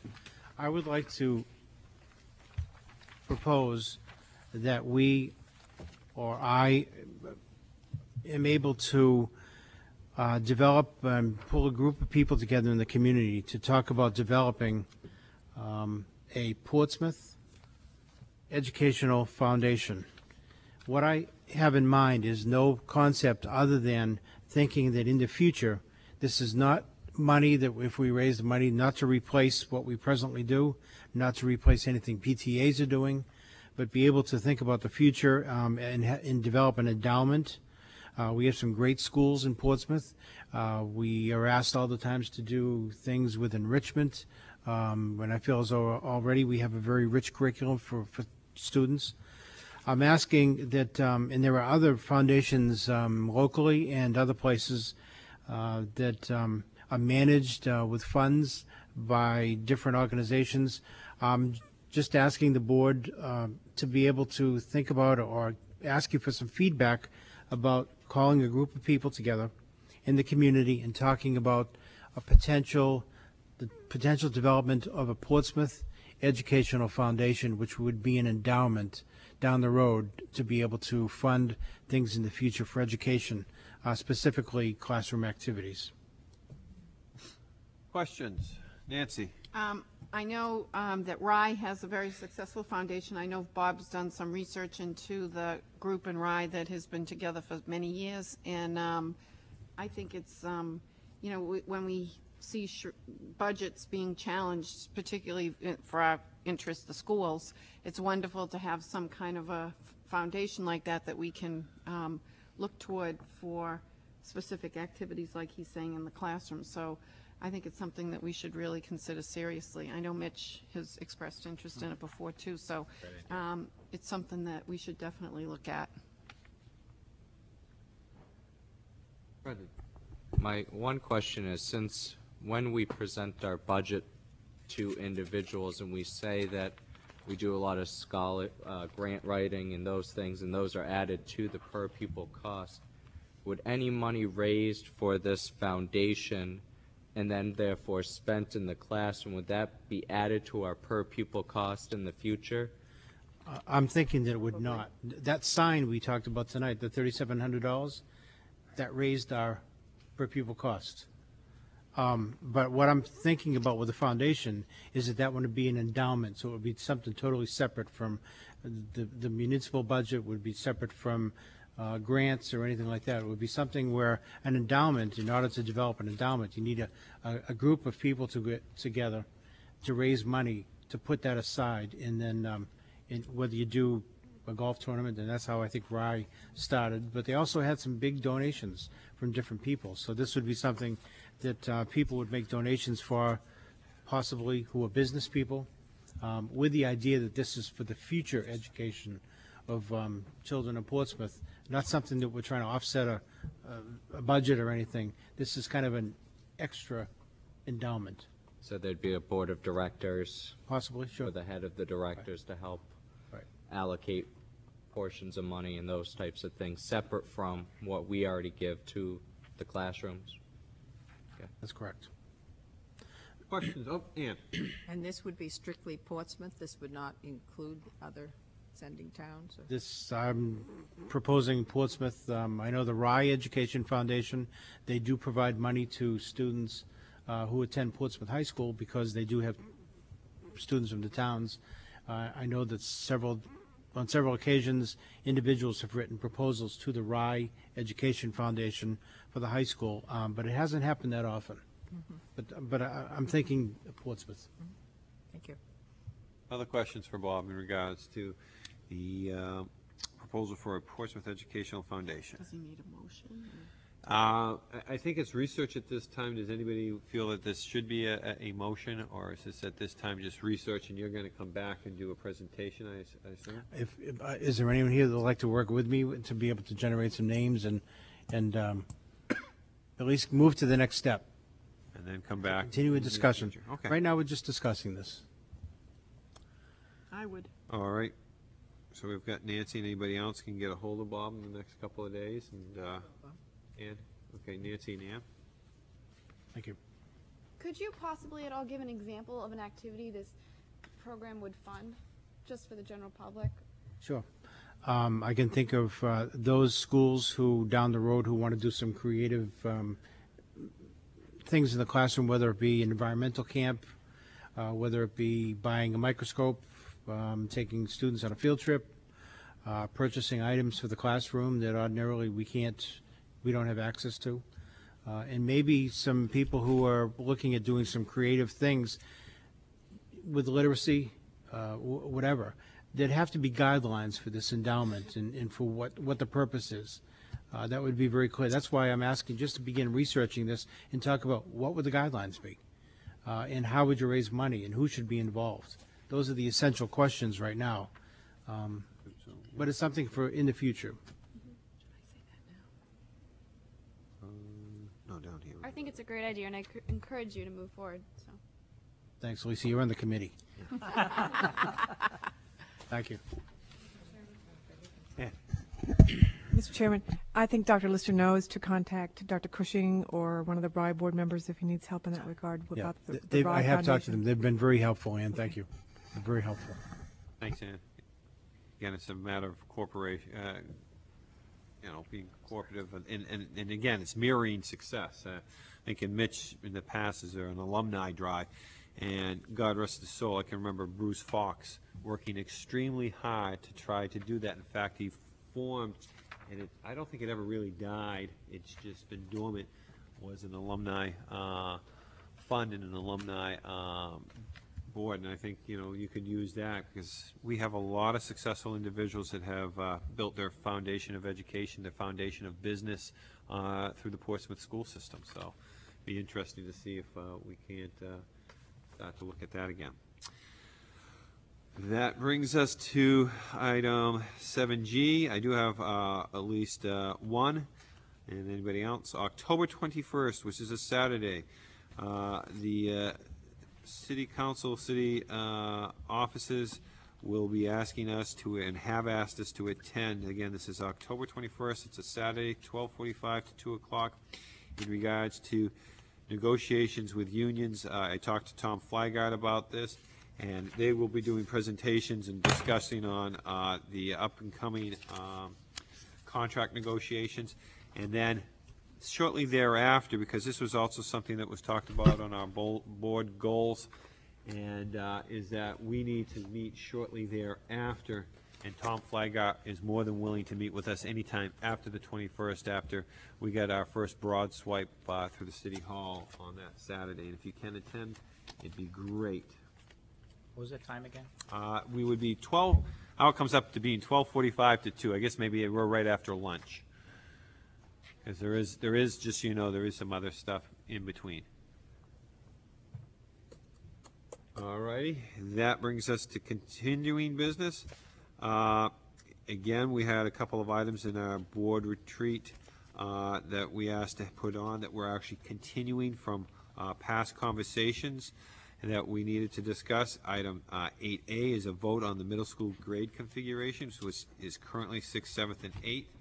Just for the record, as it's been pointed out, uh, editorial in the Portsmouth Herald uh, neglected to mention that on spring of '03, there was a vote taken by the board of, uh, the school board at that time. The school board uh, took a vote in spring of '03. It was either April or May, and I have not had a chance to ask Patty to pull the actual date, that it was a vote taken at that time to ha- stay with the configuration of sixth, seventh, and eighth grade due to a presentation by uh, both Dr. Tracy at that time and uh, Dr. Lister and uh, John Stokel. And then as early as January, as we knew that we were getting back into it to take i- this current board, and again, maybe it was not uh, as fair because new board's coming in, uh, to, we took a vote January of '06 this year to uh, stay with the sixth, seventh, and eighth concept. But as things change and things develop, we want to still assure that, uh, in a voting manner, that this is something that was asked to be brought up. Uh, That, uh, again, in the retreat, it seemed pretty much we wanted to stay with the sixth, seventh, and eighth grade. But keeping our ears open, if it's a phase type thing or whatever, we, when we discussed this the other day, uh, you know, we're, we're, we're not, uh, having the blinders on in the school board. We are looking at it and how this works educationally. So, again, uh, I believe at the retreat you wanted to take a formal vote. Is there a motion to stay with the sixth, seventh, and eighth grade concept for middle school configuration? So moved. Mr. Chair? Oh. Well, I know one thing we did talk at the retreat, I believed Mr. Schulderman was going to put together what the middle school concept was and what maybe some of the, I don't know if you were going to do this, but what the alternatives to it were. And before we go and vote, I think I would like to see a presentation done on what the middle school's concept is, even though I went through it, and what the alternatives were, just so we can clear the airwaves and educate everyone on what it is, because So it it's all- ha- it's- maybe has been a while. And I remember that. I think we were going to try to put it on hold. I I think we were just trying to make the statement. And so, again, I, John Stokel, Mitch, now everybody can get together on that. Uh, Mitch, and then Um, well, Sherry first then. Sherry, then Mitch, then Um, Nancy.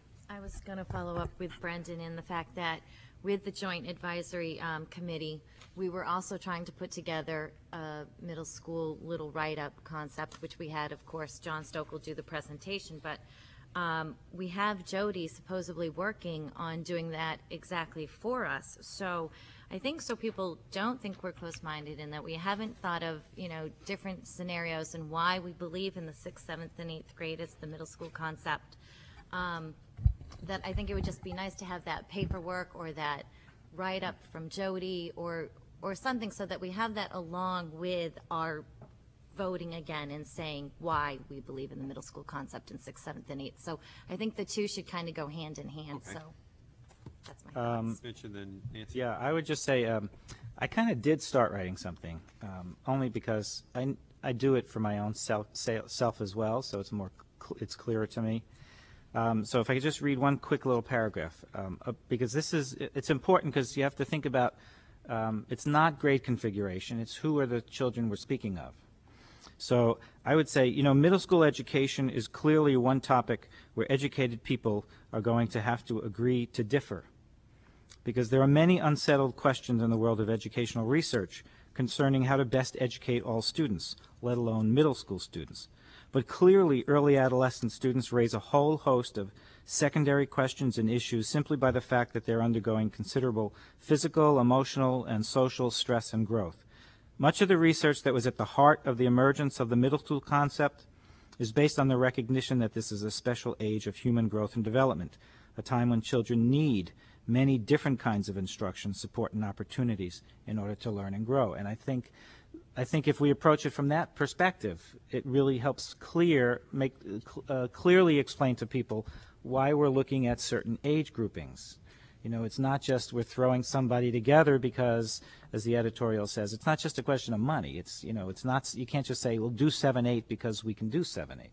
You know, if there's a rationale behind what we're trying to do, and I think there really is, and I think the middle school concept, you know, it's not been totally successful. This is a true statement, and I think, Brendan, what you were saying in terms of looking at grade configurations and the success of both, I think it's important to do that. But I think everything I've read so far about middle school concept and middle schools in general is that the ones that are successful are ones that continually work at it, that continually talk amongst themselves within the middle school to perfect what they're working at and what they're doing. And I think maybe in the future, uh, uh, we could ask the, the schools, our own middle school, at some point in the future to, you know, to begin maybe another reassessment so t- we see how we're doing and teachers and, you know, uh, Principal Stokel get a sense of how are we doing? Are we being successful? Nancy, uh, Brendan, and then Ann. I wonder if it would be a good idea for Principal Stokel to give the same presentation to our board that he gave to the committee. Um, It's a very um, well-thought-out, well-researched, um, passionate kind of Historical. presentation, historical. Um, I think the board should hear that. Um, Our committee heard it and certainly um, was impressed by it, so I think that might be a good idea. Okay. And I know he loves to make that presentation, so he wouldn't mind at all if you asked him to come back. Brendan? Ann? Well, two things. One is I think that Mr. Stokel should do the presentation. We should videotape it or try to get it on television so people can see it. And I do agree with you, Mitch, that we do need to constantly look at things that are working.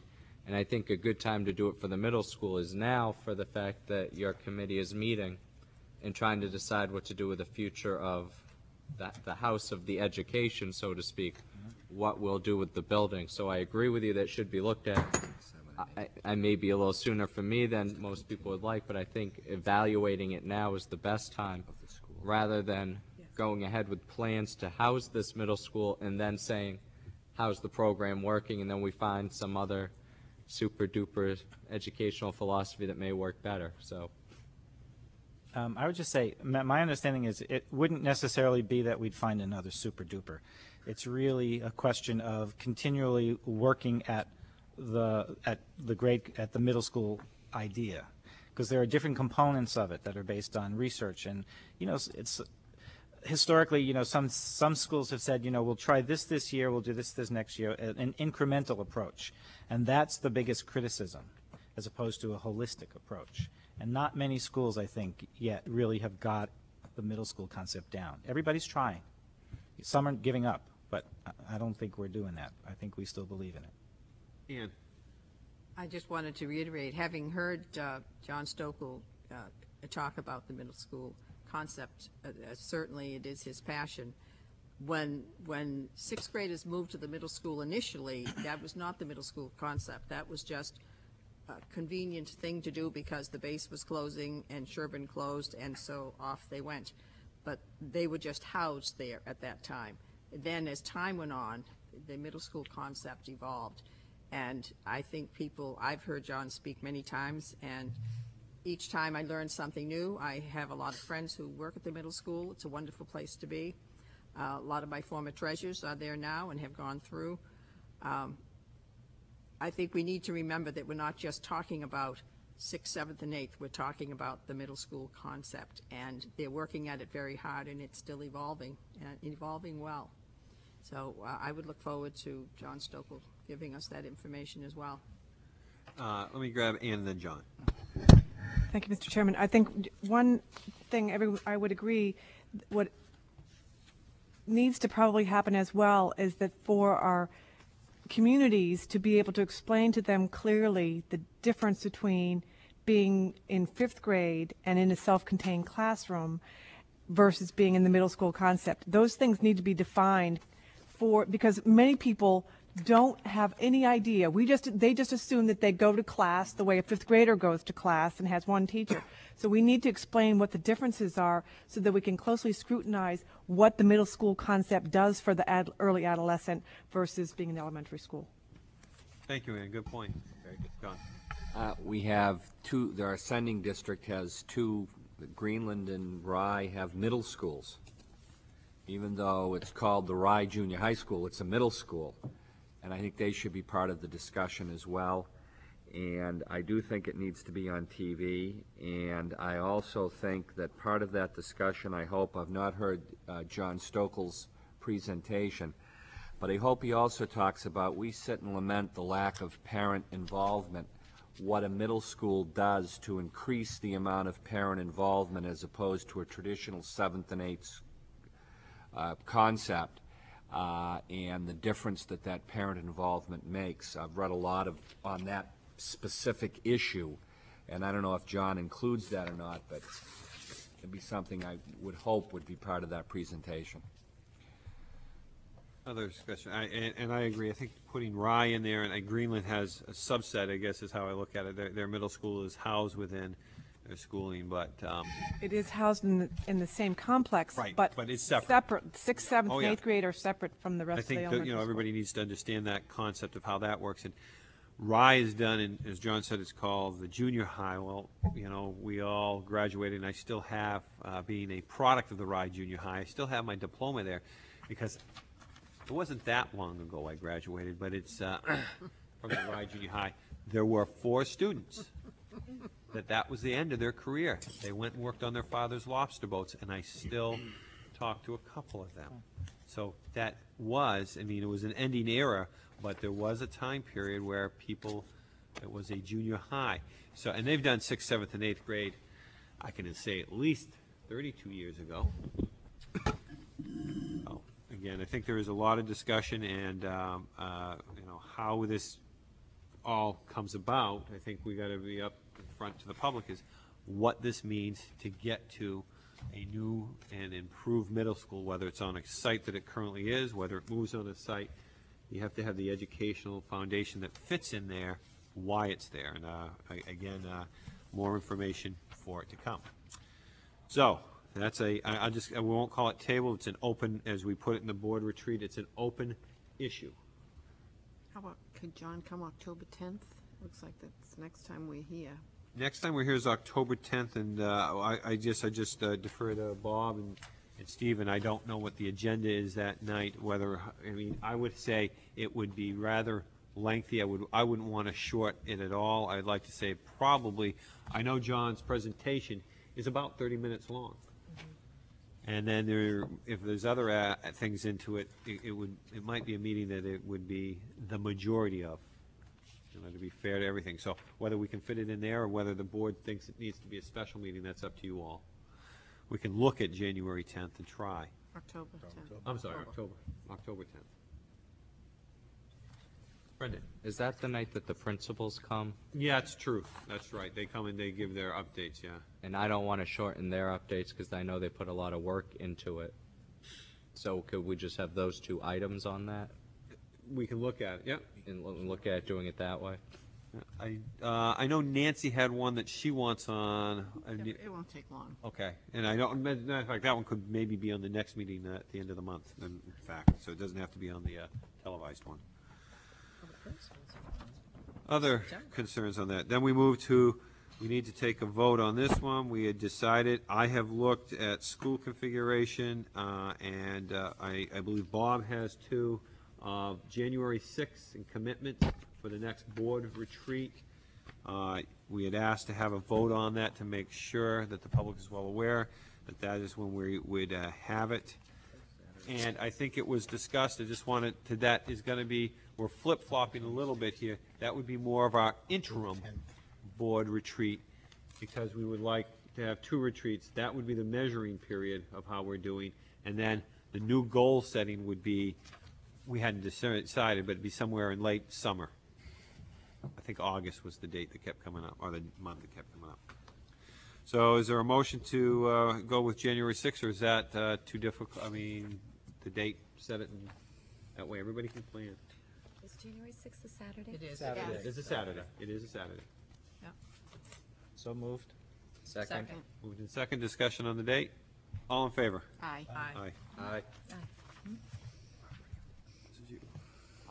Other, on other continuing business, as it's been stated, and we will not have a written copy until tomorrow after the board receives it, but the board did take the time to finalize uh, Dr. uh, Lister's uh, evaluation, and we're going to ask that Nancy read it at this time, and again, the hard copies will be ready uh, sometime after uh, we confirm it with Patty through email to all board members, uh, probably a little after nine o'clock. The Portsmouth School Board has had an honest and frank discussion, excuse me, with Superintendent Dr. Robert Lister concerning his performance over the past 15 months. We all acknowledge that this has been a rocky road concerning many holdover and new issues, such as a new board, 40% of the membership, new assistant superintendent, a new business administrator, a new high school principal, a new principal at New Franklin Elementary School, a new athletic director, and a new technology director. We are now in a new year. The board unanimously supports the superintendent of schools. We see the superintendent as engineering these new changes and view it as his team. As a board, we are all excited about taking on challenges and opportunities, moving forward at the middle school, and working to ensure our students succeed and have skills to live productive lives and become lifelong learners. We have completed the evaluation process and look forward to another year working with Dr. Robert Lister. We said we'll have hard copies available tomorrow. We'll give that to Patty for final uh, draft tomorrow. Questions, comments? Again, uh, looking forward uh, to uh, the successes uh, and challenges that Dr. Lister has the next year. Thank you. Then Any other continuing business to be brought forth? Elisa? I actually have something to say, and I think it's an appropriate time now. At the last meeting in August, I believe, yes, August 8th, I asked a question about the athletic agreement and how after 9 p.m., if athletes arrive at the school, are like they will, you know, if, if they arrive after 9 p.m., they are considered late, of course, and they cannot participate in their activities after school, including their athletics. And I question that in the sense, do the grade secretaries know about this? Are they aware of this? Because they are the ones who check in the students when the students arrive late. Uh, I actually went and talked to some of the grade secretaries at Portsmouth High School and found out that yes, they are aware the, the fact that if athletes arrive after 9 p.m., excuse me, 9 a.m., they cannot participate in athletics after school. And I, I questioned like what they thought about this, and they are actually going to receive a list of the athletes who are involved at Portsmouth High School, so they will be aware of who arrives late and the fact that they cannot participate in athletics if they arrive after 9 a.m. So I just want to inform the public as well as the school board. So thank you. Thank you. Thank you. Thank you for follow-up on that. We appreciate it. Uh, I do have one item I'm going to put up under continuing business, and uh, I, I just, uh, think a good time is, uh, Lisa brought up athletics. Uh, Been able to attend a number of athletic programs uh, these last two weeks, And I've got to tell you, the last couple of weeks, especially, it was, and, and, and I don't like football always to be the one that gets the highlights because it's all athletics. Um, there's a changed atmosphere out there. It is unbelievable in the football game. Just uh, put the spotlight on it. Uh, it was unbelievable to see Russ Wilson and his whole staff out on the field on a continuous basis, making sure that the visiting team making had everything, making sure that the referees and keeping order. It was probably, well, it was, except for the uh, dedication of Tom Dobney, the largest crowd I've seen since about 1990, and I've attended football games since 1974. Uh, and uh, it was probably close to that. And uh, yes, victories are nice, and that's uh, that that's part of the learning curve. But it wasn't the victory; it was to see uh, Again, just an outstanding effort by faculty. Uh, I I know he's left now, and I wanted to give him kudos. Jeff Collins putting the high school together and having his own tailgating party for all faculty out by the library was just a tremendous show of, of growth uh, in a very short period of time. So, again, I just think it was appropriate, as you brought up athletics, I, I thought it put it in there. Uh, attending uh, and sticking my head in at uh, the field hockey and soccer games. Again, there's a presence there. And uh, two coaches that approached me and had great reservations, two very prominent coaches within the school system of how this would work, came up and said they could not believe uh, what has happened, how great it is. And one of them had had a, I'll say, a very serious incident. And that serious incident uh, would be one that you know, might have taken weeks to resolve in the past. They were resolved within 24 hours, uh, and uh, all parties agreed upon it, and Russ and his team worked on that. So these two coaches have said, uh, and they were some of the ones that were a little doubtful out there. They have said that it is working, and uh, nothing's done. You know, it's not completed. But uh, again, I want to thank uh, the effort out there by all that are participating. Any other continuing business? Steve has something. Oh, I'm sorry, Steve. Um, I just wanted to bring up the uh, early release dates for this year. Um, My understanding is it's, it's customary for the board to approve the, the dates uh, that we have. We, we are holding the dates off of the uh, master calendar uh, until we had the board approval. So I was going to give you those dates um, and answer any questions you might have about that work. But we're proposing, again, four early release days throughout this year. Um, well, the first one being on September 27th, uh, and then November uh, 15th, February 7th, and May 23rd. And these days are used in conjunction with our full day of professional development on October 6th to tackle some of the issues that we have in front of us as a district. And um, for us, one of the primary ones that Dr. Lister has, has mentioned many times is literacy and how do we, um, you know, look at literacy across subjects and across all grade levels. Uh, and that's work that, um, that our buildings and staffs dig into on those early release days. Um, often structured with either people coming in, uh, talking with faculties, or faculties working together on certain issues. Uh, we also have work in front of us um, related to the Student Aspirations Program that we've uh, had a two-year um, relationship with right now and working um, again, looking at some school change through that. Uh, also, uh, the data issues that we talked about earlier um, and assessment, uh, as well as uh, the work with the new, newly revised science curriculum. That's work that's going on this year. So, so those are some of the things that uh, schools are um, focusing on in these early release days. Um, and as you know, those are days where students get dismissed uh, on an early dismissal schedule. Uh, so the uh, full staff has that chunk of time to dig into professional development and school-related and district-related issues. So um, would like to put those out there for your approval. Brendan. I move that we approve the early release days. Second. Moved and seconded discussion on the earlier release days. Only question I have is, what year do I do, there is a wrap-up on the aspirations, is there not? No, I was just asking Nancy, I It's- apologize. No, this is the, the third year of a three-year agreement we had with them, uh, and uh, we are talking about how, um, although the relationship may not continue in the same exact way, how we continue the work. Uh, It's certainly, um, not every school is at the same place. Uh, As you, as you probably know, uh, at a state level, people are talking about um, aspirations as a way to get to some of those um, follow the child indicators of physical and social and personal. And uh, the program that were that was started here uh, is actually going to be serving as a model for other districts around the state, uh, and and working work will can also be done um, with some of the districts that would be uh, jumping onto onto this work. But the same um, survey that students took to get to some of those things is being made available to every school in the state of New Hampshire this year. Thank you. There's a motion uh, to accept the uh, early release days. Any further discussion? All in favor? Aye. Any opposed? Go at it, have fun. Any other continuing business at this time? See none. Steve Bartlett, who's been so quiet tonight. Oh, given the lateness of the hour, I'll try to be brief. I handed out earlier uh, a month-end Get us on. financial report for July 2006.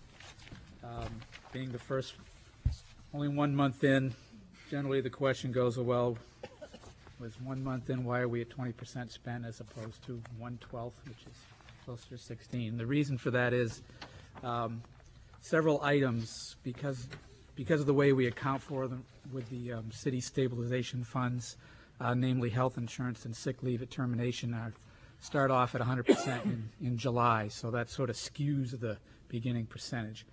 Other than that, it's a, it was just a pretty normal month. Um, there are quite a few expenditures um, for supplies for various of the departments because they're trying to get geared up to get the stuff in for September.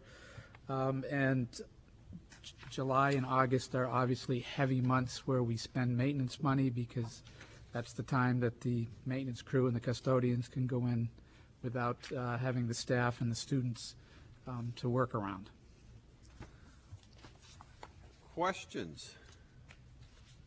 See no questions? Next. Okay, we'll move on to the June 2006 report that I gave you. Um, It was a meeting or two ago that I gave you a- an an, um, estimated uh, year-end general fund where I indicated that we had um, an excess of um, revenue, usually based on um, tuition, you know, extra tuition revenue that, that goes to the, um, to the general fund. Um, We also had uh, helped out in that respect because we had released uh, previous year's encumbrances, which actually didn't, uh, weren't required. And uh, finally, I had indicated that we were um, in a position where we had spent nearly all the budget, but there was about fourteen or fifteen hundred dollars that would remain unspent. And I, I made that statement with the caveat that as we got closer to the end, that that might change. And you can see, in fact, um, it did. We discovered um, a couple of things that, that showed up at the end for encumbrances. So um, that's been reduced to about just over, uh, just under $500. Questions? Comments? Now, the other part of the report is, uh, I'm handing around the um, signature pages for the um, DOE 25 and the MS 25, which are the state reports that are due, and they um, will be submitted to the Department of Ed group that'll review them, and they may in fact, um, Ron usually goes over them and sends back uh, either it's okay as it is, or we need to, to, to reclassify some of the statements. Um, When I get that message back from him, then I can make copies, but I didn't want to make a bunch of copies for something that might change a little bit between now and then. Save a tree. One to save a tree or two. Um, And we're working on um, putting together a more detailed year-end financial um, report, but we sort of have to wait till we get the DOE reports done because it all filters through that. Um, So for the next meeting, we should have those for you.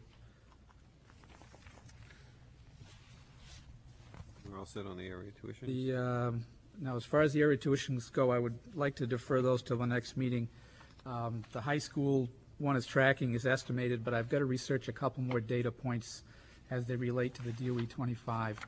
Um, And because the formula for figuring the area agreement is based on part of the DOE 25. So there's a couple of, couple of things that I want to research further just to make sure that they're um, entirely accurate. Questions regarding any of the financials to Steve Bartlett? See none? Brings us up to the next agenda items. Uh, Chairman. Yep, sorry, Bob. Could, could I, on this next agenda, could I just um, bring your attention to 10B and C, introduction of new staff members and opening of school? We'd like to um, have that happen on October 10th, because we'll be on television that, that evening. Uh, We thought it might be good for the community to hear the principal's reports and to be able to see all the new teachers and maybe put a face with a name. So if you don't mind, we'd like to um, change those to the meeting on October 10th. Any objections? I think that's a good idea, and uh, again, it's a, a chance, uh, and that does become uh, a little lengthy in that the principals all want to report on how we are standing, and uh, I don't want to cut them short, so uh, that's great. Plus, I believe that time, Ann, you'll be coming back a little bit more detail on the I- energy. Yeah, I'd like to kind of discuss the, pro- and I- and we have a meeting tomorrow night, and then Nancy, you had an item you wish to put on, is that correct? Yes. Do you want me to Yep, say go what it ahead. is? I, I would like us to think about putting together a committee to study having a student behavior contract or just a student contract, I guess is what I would call it. We, when we had our athletic committee um, meetings to revise the athletic contract, we talked a lot about making it a student contract that all students sign, not just athletes.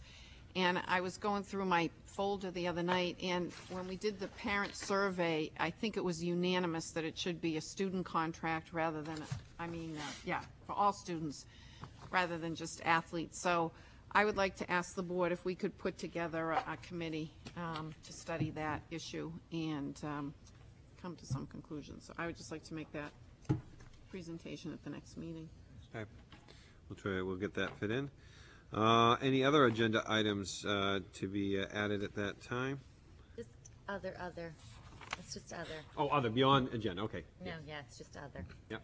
Um, any update on Ray's, um, Yeah, uh, Mr. Bowles has asked not for a major celebration. We're going to try to work something when, uh, Mr. Bohenko's out this week and things have changed, that doing something probably here at City Hall Chambers, uh, presentation in an evening, uh, trying to work with both the council, the mayor, and uh, the city manager. So I would say, so we don't have a set date, Oh, the date is now time, scrubbed. place, everything's still kind of a little bit up it's in there. scrub, and it will probably be here a little, a lot less formal. And it was per request of Ray. Yes, okay. Any other business? Motion to adjourn. So moved. Oh, wait a minute, Elise, uh, let it go. Well, to well, it's, it's really quick, actually. I just wanted to comment quick on the City of Portsmouth website. I just wanted to say that I feel like it's a great source for people to get information about the school systems and specifically the schools in Portsmouth and certain activities or sports schedules, especially the schedule of uh, sporting events on Channel 22. So a lot of what we talk about you can find yourself at cityofportsmouth.com. So I have to say that I found it very useful myself, so you will as well. So that's it. Thank you. Nancy's got one more, and then we have a motion to adjourn. Um, I just want to report that, you know, we hear all about our varsity teams. We don't hear that often about our freshman teams. And the freshman football team um, won last Thursday. The score was 26 to 16, and Ben Hayward scored several of the touchdowns. A motion to adjourn? So moved. All in favor? Aye. Any opposed? That's